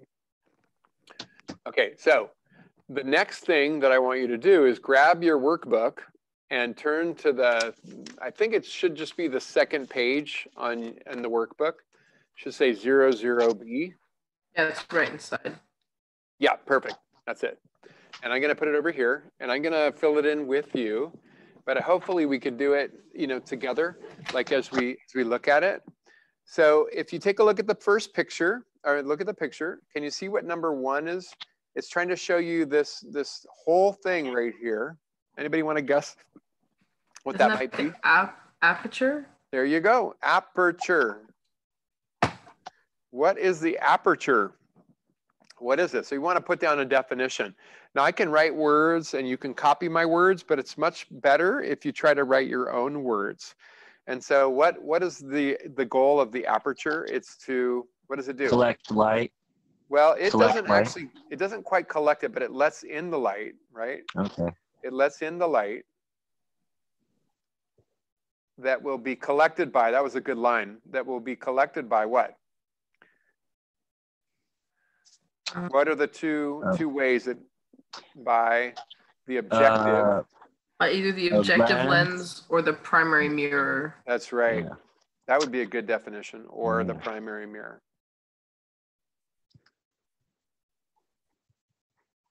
That's good. I like that. Okay. All right. Now, if you look at the picture again, we have a, uh, the two is like right next to the telescope. I actually think I probably could have done a better job of trying to explain what I'm talking about. But it's, it's trying to describe this part of the telescope, which happens to also be on this side as well. It's, it's what's holding the whole telescope together, actually. The tube? So- Yes, that's right. It's called the optical tube. Okay, so I probably could have mentioned that most of these words are on the page before, right? If not all of them, they're Oh, actually on the page before. but the idea is to see it in person, right? To actually see see the uh, the optical tube. So what is the job of the optical tube? What does it do? it holds it all together. Together. hol- yeah, that's it. Thank you. Just like we need to hold it all together. Yes. Okay. Hold it together, man. okay, hold the telescope together. Okay. Something like that. That's great. All right, let's see. Number three. Can you see number three? hmm What is number three? The, the primary mirror. I would go with that. I like Uh, primary yeah. mirror. Yeah. And you'll notice where it's located. Where's it located? At the In the back. back. At the back of the optical tube. Very good. Exactly. At the back of the optical tube. So uh, the furthest away from the aperture. Okay. And so what is the job of the primary mirror? What do you do? Reflect the light. Yeah, let's say collect. Can we say that? You're right. It does reflect it. But we want to try to remember that the goal is to get as much light as you can, right? So collect the light and then what? And reflect. it? reflect it to a point, right? Reflect it, reflect it towards, towards, what's it called? A focal point, focal point. There you go. okay? Reflect it towards a focal point, okay? But it doesn't actually get there because it hits number four, right? It's trying to get to a point, but it doesn't allow it to get to a point. What's number four? Secondary mirror. The secondary mirror, okay? So actually, um, I didn't mention this before, but why is a secondary mirror kind of a neat thing? What it does is it kind of folds the telescope, right? It makes it so the telescope doesn't have to be uh, as as long as you know. It doesn't have to get all the way to a point out here, right? We stopped it before it got to a point and made the light go back the way it came, right? So it kind of allows the telescope to be smaller, right? So what does it do though? It reflects the light from the primary mirror and then back through an opening in the primary mirror.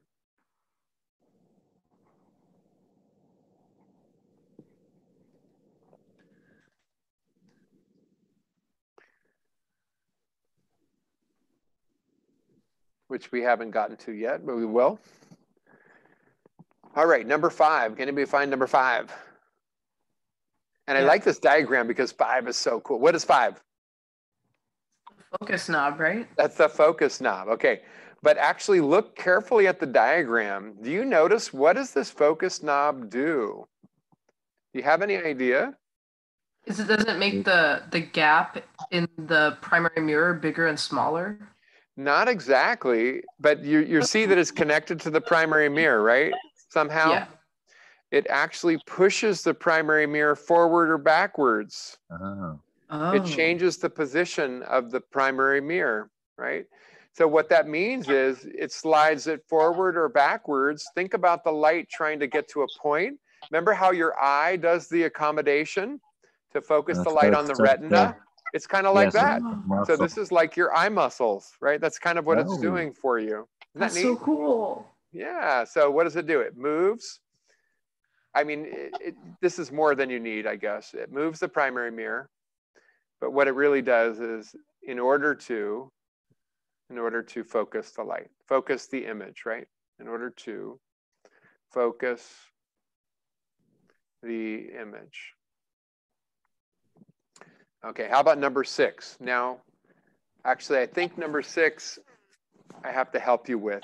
Um, number six is an opening in the back of the telescope. And it's actually the same place where the light is coming through uh, from the secondary mirror. So did you see the name? You want to look at the list of words and see if you can figure out which word it might be? Is it the eyepiece? Maybe it's No. not there. Oh, it's, oh, there it is. Yeah, it's there. You see it? Oh, the visual back? That's what it's called. There you go. Write it down. Yeah. Visual. Can you guys read this? Oh, I need to move it up. Okay. There you go. Moving on up. Okay, here we go. Visual back. The visual back. What is the visual back? It's the opening in the back of the telescope.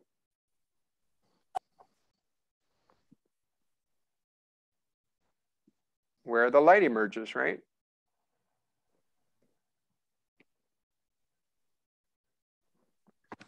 The light comes out, a light emerges. Okay. How about number seven? See number seven? What, what is number seven? What is it actually?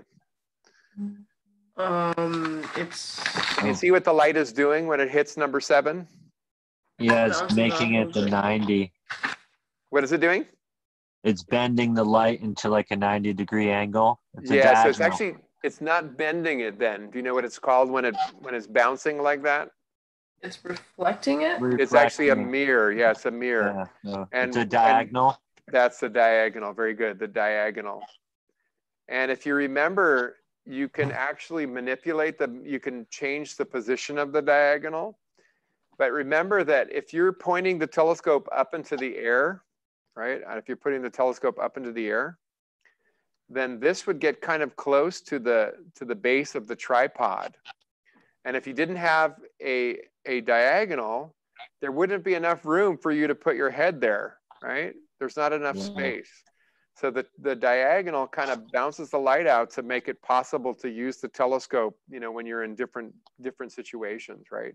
So what does it do? So Daniel told us what it does. It bounces the light, how many degrees? 90. There you go. Bounces the light 90 degrees. 90 degrees. Uh, just to make it to make it more convenient. More convenient to use the telescope. That's really all it is.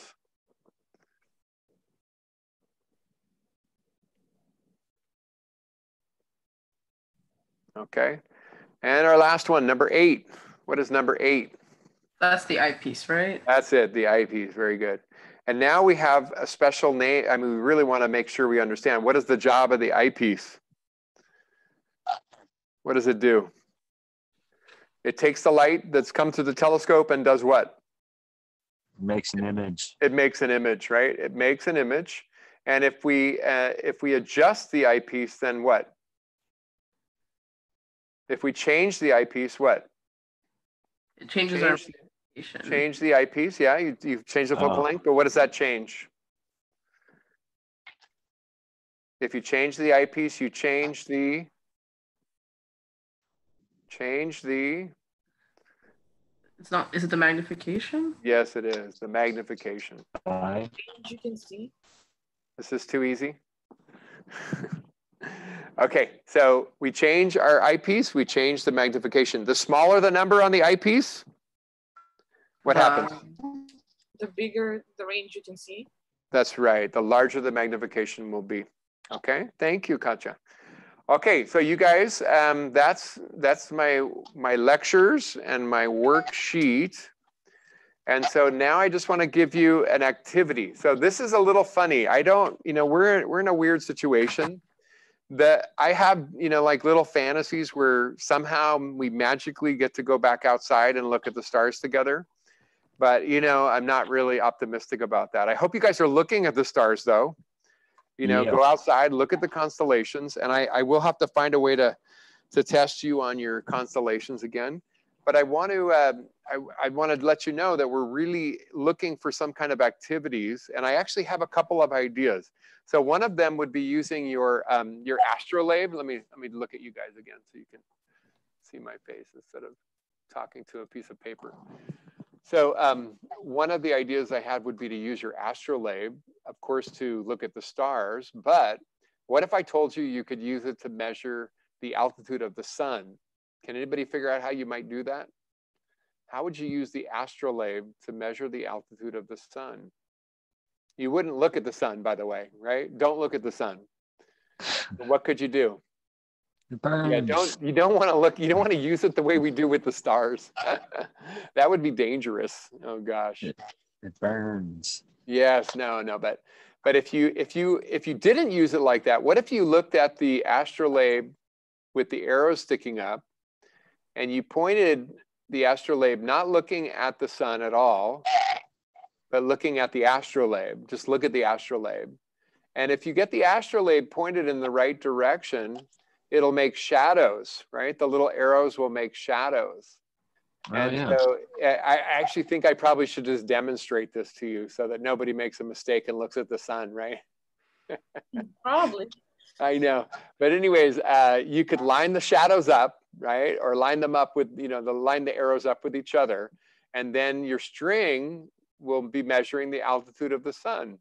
It turns out it's not that hard. And, you know, you could do this. And I, I actually, I'm, I'm trying to make a, a, a kind of exercise where you guys could do that during the day. And then what I would want you to do is to watch the altitude of the sun over a couple of hours. You wouldn't have to watch it all the time, just maybe, you know, for, you know, a couple of hours, every half an hour, take a reading and, and or every 15 minutes or something like that and measure the angle of sun. Does that sound like, like something you would do? Just to try it out. Do you know what time? Do you know what time the sun reaches its highest altitude? Noon, right? At local noon, right? But what time is this now? What time would it be? Around what time? No. Twelve, right? No, Or not 12. changed? Around one. Why? Ooh. Why would it be one? Because what is the time right now? It Oh, because we we we s- we did the whole time clock change. thing, right? We did daylight savings. We pushed the clock right. Forward. sprung Right. forward. What's that? Oh, we, we sprung forward. Yes, we sprung forward. So you could see that the sun is really reaching its apex, its highest point at about one o'clock, which would have been 12, you know, in the in the standard time. So that's what I'm thinking about. But right now, I want to give you an activity to do uh, without using the sun and without using your uh, your astrolabe, but also getting used to using this tool. Uh, so I want to use the stellarium, and I want to have you um, make a picture um, actually, what I want you to do is I want you to make a picture of where Venus is going to be over the next month. Okay. And so, what I want you to do is make a track on one of these pages. Which one? Uh, it's got to be. It's got to be this one. Got to Use be on this one. one in the back. Yeah, no, no, no. I'm going to do it right here, actually. I'm going to ask you to go look at page 22. These are the constellations that, that uh, Venus is going to be in. And I want you to make a series of dots where Venus is, and I want you to put the dates right next to them, okay? so that you can see a track and then you'll upload a picture of that when you're finished. So this is your, it's a very easy activity, I promise you, because I'm going to show you exactly what to do. Okay. Uh, if you want to go a little, are you confused? Uh, no, uh, uh, what was the page number? Oh, the page I'm using is 22A. Oh, okay. 22A. 22A. So if you use 22A, this, these constellations are the ones that, that are actually relevant. And so let's go ahead and switch over to Stellarium Web. Uh, but actually, if you downloaded Stellarium, that's really what I wanted you to be using. Uh, so, you know, you could use Stellarium or Stellarium Web in this case. Uh, the thing I want to do, let's go back. What's the date? Oh, it's, it's right. The date is right. Okay. So can anybody see Venus? Okay, I don't see Venus. Where is Venus? Oh, there it is. Okay, Venus. Now you can do some things right here. If you want to, if the ground is a little bit distracting, you can turn it off. Oh, If you if you want to do this during the daytime too, you could actually do it night or day. You could turn off the atmosphere. All right, you can turn off the landscape. I th I think maybe leave the landscape on for now. Whatever, it doesn't matter. Okay, so you can see today. Where is Venus? Well, actually, look at this. Venus is right next to the Pleiades cluster, right? Isn't that cool? So if you can, go look at Venus tonight. It'll be right next to it. It almost looks like it's a part of it. Is that crazy? I Oh, love it. This is so neat. Okay, um, the Pleiades cluster. And then what you're gonna do is actually just advance time. So make a little dot if you can. Uh, if you're a little bit confused, you wanna turn your paper. So let's switch back actually, hold on. Let's, uh, let's stop for a second.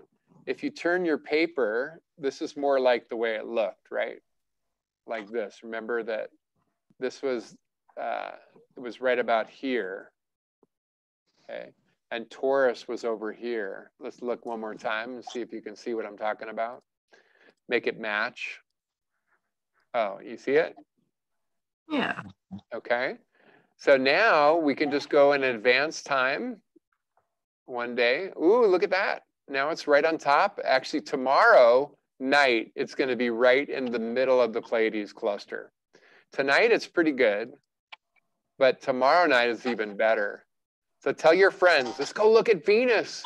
It's going to be right inside of the Pleiades cluster. No way. Check it out. It's going to be magnitude negative 4.31. Anyways. okay. All right. Yeah. Your friends get into this. All right. And then we uh, we can advance time. Advance time. Look at this. Uh oh. Where are you going, Pleiades? Okay. Oh, look at this. What the heck? They got a little satellite. This thing shows satellites. This is cool. It's crazy. Crazy. Okay. Stick on Venus. Okay. Um, if you wanted to, you could measure the altitude, but no, don't worry about it. Um, I just wanted you to draw the track. Actually, no, tonight you're just going to do, just, just show me the track. Okay, so show me as long as you can how Venus is progressing. Which way is it going? Okay. You guys understand what I'm asking you to do? Yeah. So do so So- do you want us to do like every day, or do you you don't have to do next, maybe, maybe every week is enough, except Yeah, that's I what I do was want you to catch, I want you to catch when it changes. So I said a month, right? A month? Oh, a month is really, where did it go?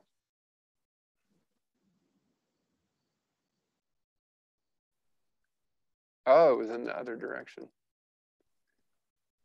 Oh, no, it's fading away. Okay, I need to turn this off. Okay.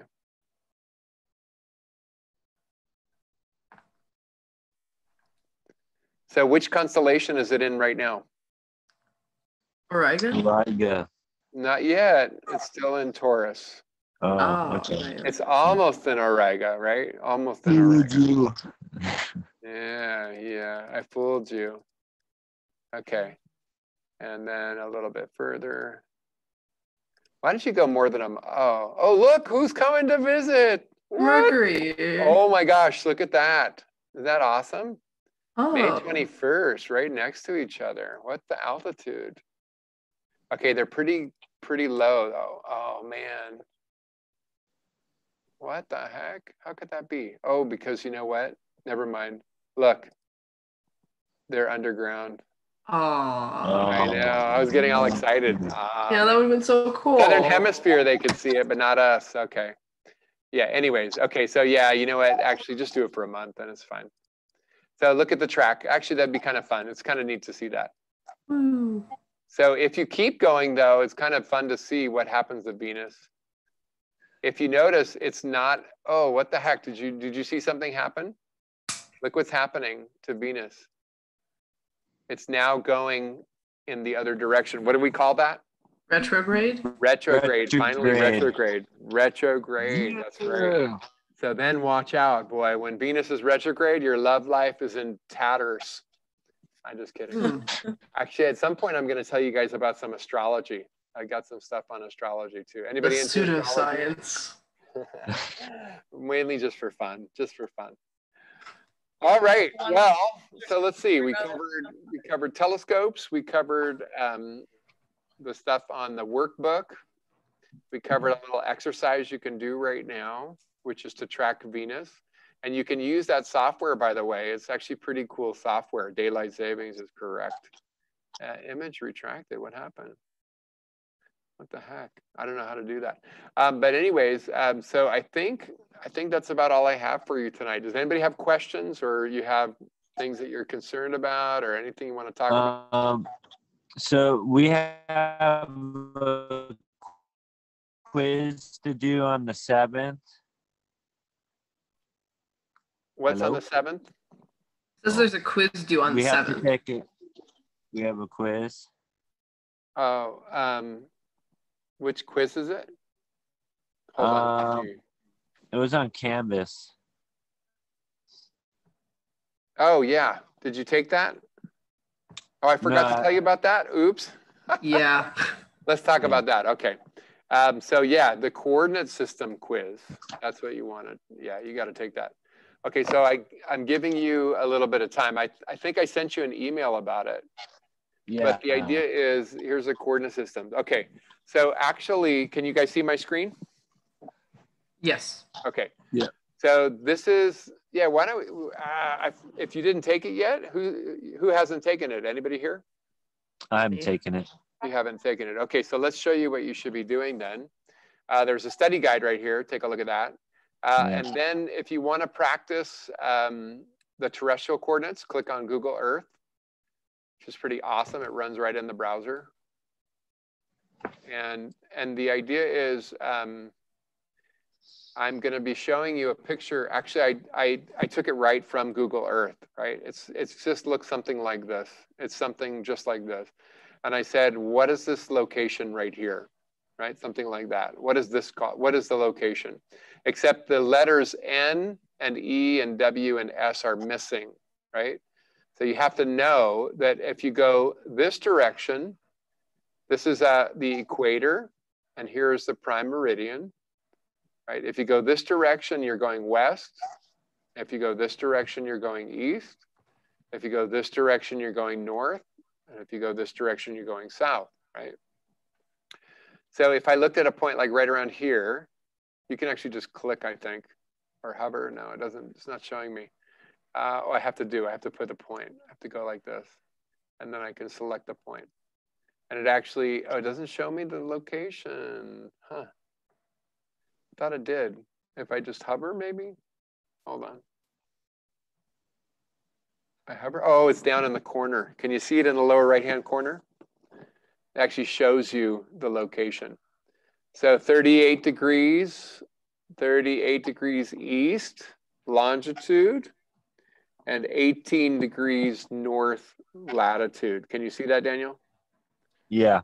So you, I, I, you don't, you don't get the numbers on the quiz, but you're going to get a point somewhere. You know, there's a point like right here. What would the coordinates be? Don't look in the corner, right? Just try to figure it out. Well, it's going to be Start with the east-west longitude.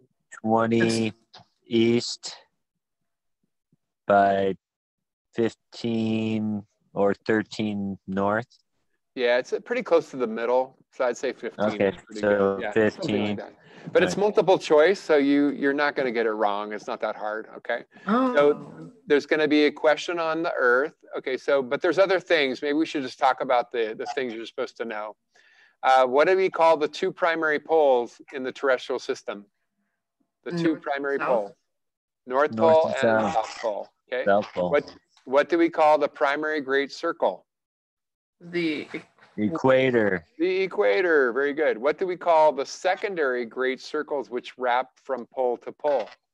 meridian lines. Uh, the meridian Meridian. lines. That's why the special one is called the prime meridian. You can remember that, right? Yeah. What do you call the secondary small circles which are parallel to the primary great circle? And Parallels of latitude. Parallels of latitude, right? As they go up towards the of pole. What is the, where do you find the um, reference point? Where's the reference point? It's where the prime meridian crosses the equator. Right there. And what's the name that we give it in our lab? It's a Zonk. SGCC name. Zonk. We call it zonk. That's zonk right there. Um, what is the, the coordinate called parallel to the primary great circle? What is it called? Uh, Parallel, along the equator. Longitude? Longitude, what is the Yeah, coordinate okay. called perpendicular to the primary great circle? Latitude. Latitude. All right, so that's that's uh, that is the terrestrial system. Okay, and then if Alright. you want to practice, um, going back right here. Oh, I have to go way back. Oh, never mind. Close it up. Too many. I got too many. Uh, click on Stellarium Web, and then I'll show you the trick. You can close this little side thing. You don't need it. Um, and you want to practice, right? So you can zoom out a little bit. But you see down here, there's azimuthal grid, bam, just like that. And you can practice now. You can you can actually zoom in if you want. The problem is that the numbers are a little bit faint. Can you guys see the numbers up here? So this is 345. Oh, let me. Let me point south. That's better. Okay, so or like over here. Let's go over here. There's some star. There's Arcturus, right? So let's look at Arcturus right there. You see Arcturus? Okay. And you see 75. And is it just a little bit past 75? What do you think? What would be a good number here? So 76, 77 maybe. I'd, I'd say 76 is probably fine. 76. And then on the vertical, you're going up. This is 20 degrees and this is zero. This is the horizon line. So what would be the number? What would you guess? S- Maybe 15? Yeah, probably not. If you go halfway, it's 10, right? And here's halfway. I'm hmm. putting my, my Oh, tip in my right. arrow. So what do you think? Maybe like, what 12. think? 12? 12 or 13. Yeah, so let's click it and it'll tell us the numbers right here. And the numbers are 75 degrees and 39 minutes, which I would round up to 76 minute degrees. And then 13 degrees for the altitude, okay? So azimuth and altitude are the two numbers that you're trying to get. If we zoom back out, you can zoom. And by the way, what happens if you wait a little while? Will the numbers change? Yeah, they change, right? Yeah. Oh, yeah, yeah. Numbers change, right? So this is this is a the system doesn't keep the same numbers, right? So a little while later, you see this is the same star, Arcturus, uh, but as you can see, it's between 75 and 90. What would be the estimate right here? There's the middle. What do you think? 75 and 90. 75 and 90. What do you think? Um, 82-ish? 83. just 83. I might go 83 or maybe even 84, 83, 84, something like that.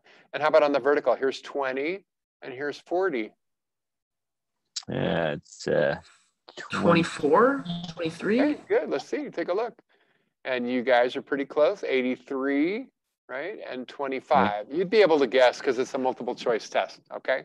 Okay. So you just pick the number that's closest, right? You, you, they're not going to be, I'm not going to give you like 25.2 and 25.3, right? They're going to be pretty easy for Mhm. you to distinguish. And there's Yeah. the horizontal, right? So this is called the horizontal system. Let's go through the, uh, the whole thing, right? What do you call the two primary poles? One right above your head, the other below your feet. The North and zenith. South Pole. No, the Yeah. zenith, the nadir, right? Zenith, yeah, zenith and nadir Oh, point, right? The okay. zenith and nadir. This is called the All right. horizontal system, right? Nadir. Zenith is right above our Oh. head, nadir is down here below our feet. Okay. What Okay. do you call the primary great circle? Celestial horizon. That's right, the horizon. It exactly cuts the sphere of stars in half. All right, there's a top half that we see and a bottom half that we don't see, right? The celestial horizon. What do you call the secondary great circles which go from pole to pole? It's the vertical circles. That's right, they're vertical circles. In the horizontal system, the vertical lines here are vertical circles. That's an easy thing to remember, right? Horizontal Yeah. system, vertical circles. Okay. What do you call the secondary circles, secondary small circles, which are parallel to the primary and get smaller as you go towards the pole? Parallels of altitude. Parallel, parallels of altitude because you're measuring right. altitude as you go up. What do you call the coordinate measured along or parallel to the primary great circle? The north cardinal point. No, what do you call, oh, I, I skipped, I skipped something. What do you call the Oh. coordinate along the primary great circle? Oh, the, the azimuth Azimuth. And what do you call the coordinate perpendicular? altitude. Right, now what do we call the, uh, the reference point? Where is it? There we Where's go. zero comma zero? That was the north cardinal point. Right, Right. right. So right on the horizon, right on the horizon at where north is, right underneath Polaris, okay? Well, not quite, right underneath the north celestial pole. Actually, I don't know if I can turn on celestial poles. Uh, I can't, I can turn on this. Can turn on that. That's the local meridian line, right? Okay, um, I got distracted. What am I doing? Oh, yes. What do we call the coordinate measured perpendicular to the primary great circle? Altitude. Oh, That's right. That's the altitude. Okay. This is all on the study guide. It's all stuff that you should practice. Okay. Take away Okay. this and now switch to the equatorial grid. This is our coolest equatorial grid. Um, should we start with the names? Let's do the names first. Okay. What do you call the two primary poles? The NCP and the SCP. Very good. NCP, SCP. What do you call the primary great circle? The CEQ. That's right, the celestial Yeah, equator, which goes out of the. E and goes into the W like this, right? It's exactly half of the sky. Ooh, that looks weird. I know, it's kind of weird, sorry. Okay, what do you call the secondary great circles, which go from one side to another? Okay, I don't have any numbers, so I need to zoom in a little bit. If you zoom in, the numbers start showing up. Can you see Hmm. here 13H, 12H, 11H, 10H? And if I The hour in- circles. that's right. They're called the hour circles. What's the biggest hour that you can get to? 20. 24. 24 hours, right? It goes from zero, zero hours. This one will be 23. I can't see a 20. There we go, 23, which means it goes back to being 24, right? So 24 hours in a day. Okay, those are the hour circle. What do you call, I'm getting confused here. What do you call the secondary small circles, which get smaller as you go towards the pole and are parallel to the primary great circle? Declination. Parallels of declination, right? Okay, so that's declination. Uh-huh. Okay, so these lines right here are uh-huh. parts of circles. They're called parallels of declination. Okay, so um, there's Arcturus, ag- oh, Spica. Let's use Spica. Okay, so I, I'm looking at Spica and I want to use the lines. First of all, I want to do the, I want to do the right ascension. Oh, I forgot to, I forgot to ask you a question. What do you call the coordinate measured parallel to the primary great circle? Right ascension. right ascension. What do you call the coordinate measured perpendicular to the primary great circle? Declination. Declination. Okay, so here's Spica, right? We got Spica. And I see here 13H, 13 hours, and I see here 14H. Give me an estimate for thir- between 13 and 14. What do you think? 24 minutes. Sure, 24 or something like that, right? Here's Yeah, three hours, 13 hours, 24 minutes. 13 hours and 24 minutes. Okay. And then uh, on the vertical, what do you notice right here? You see it's on the, there's the negative, this is zero, negative 10, negative 20. What do you think? Mm, maybe negative nine. It's, this is negative 10, and negative Negative 20. Oh, we're going it's down. So 11. Negative 11, 11 or 12. Yeah, Negative. negative 11 or negative 12, something like that. Okay, I'd go with negative 12, I think, right? And here we go. And it says, ah, negative 11 was better, actually. Oh, So 13 hours, Yeah. 26 minutes. You said 24, right? But 26 Yeah. is close enough. And then negative 11 minutes and 15, 11 uh, hour, uh, 11 de- and degrees and 15 minutes. Okay. That's confusing. Okay. These minutes and these minutes are different. Okay. They're really different. All right. Um, okay. So the declination of Spica is negative. What about Arcturus? Arcturus, is it positive or negative? And by the way, for the rest of your life, that's the coordinates for Spica. What you just what you just heard, right? For the rest of your life, you know the coordinates of Spica. 13 hours, 26 minutes, 16 seconds, negative 11 degrees, 15, almost 16 minutes of declination. Okay. What about Arcturus? What do you think? Between 14 and 15, I'm going to go halfway just to give me an, an idea. What do you think? Let's half of half. So like, fif- How many minutes is in half of a half of an hour? like 15, 15. Okay, so what would you say? 15 hours, 15, 15. minutes.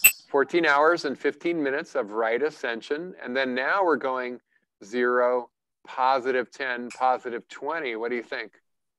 19. Positive 19. Let's try it.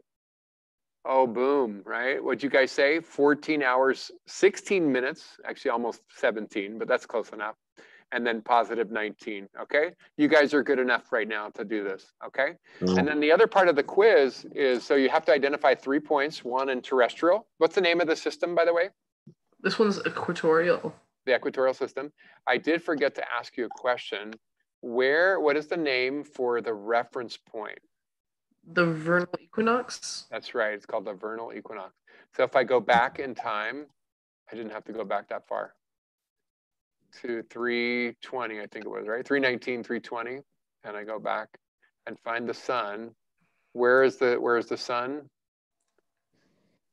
Should be like right on it or very close Should to it. be- least. Yeah, it should be really close. Okay. And there is the sun. And you can see it's not perfect. So I can actually see. So is it a positive or negative declination? Negative. So is it there yet or not yet? Not quite. Not quite. So a couple minutes later, maybe an hour, couple hours. Why is it? Oh, Whoa. I think, I think what happened is um, I'm not on the sun anymore. I think that's what happens. Uh, what does it say? Oh, you know Still- why? It's not letting me. Now I can see it. Oh, now I can see it. Oh, you see? Let's see, a couple hours later. Oh, you see it's zero degrees, 10 Oh minutes. yeah. So I'm getting really close. Oh, 10 minutes, okay. zero degrees in 10 minutes. I don't know. It's not changing. Something's not right. I don't know. This, Now it's this web app is not perfect. I, I think that, that you guys will have much a better time in the app. Use the app. Use the app. I mean, don't you? Yeah, don't use this web thing is imperfect. So I mean, it's pretty good, but it's not perfect. But it's pretty close. Okay, so the twentieth was about the equinox. That's right. All right. Well, I So think I just am- get the I, I just get the Stellarium app. Yeah, you can get it on your phone or in any computer that you have. So if it, it runs on a Mac, a PC, anything. But if Cool. you can't get it to run, um, then use the web. It'll work. It's just not as Okay. good. Yeah, I mean, if you just want to do the work on Venus uh, with the web one, it works fine. But when you want to do anything more involved, I think that the the apps are better, work better for you. All right, so that's it for tonight, guys. Thank you so much. Great to see you. Awesome. And then uh, look cool. for, Thanks, Sean. you're welcome. And look for tomorrow uh, or tonight or tomorrow, look for a little quiz for participation. And then I'm going to ask you guys to upload your picture of Venus, the track that you made for Venus. So we'll figure out a way to do that. I'll, I'll, I'll find a place for you to put that up. Okay? All right. Cool. All right. Thank you, guys. Have a good All right, evening. night. Be well. Thank Stay you. safe. Okay. Will All do. right. All You right. too. Thank you. Goodbye, Urban. You got it. yeah. Good to know. All right. I think I'm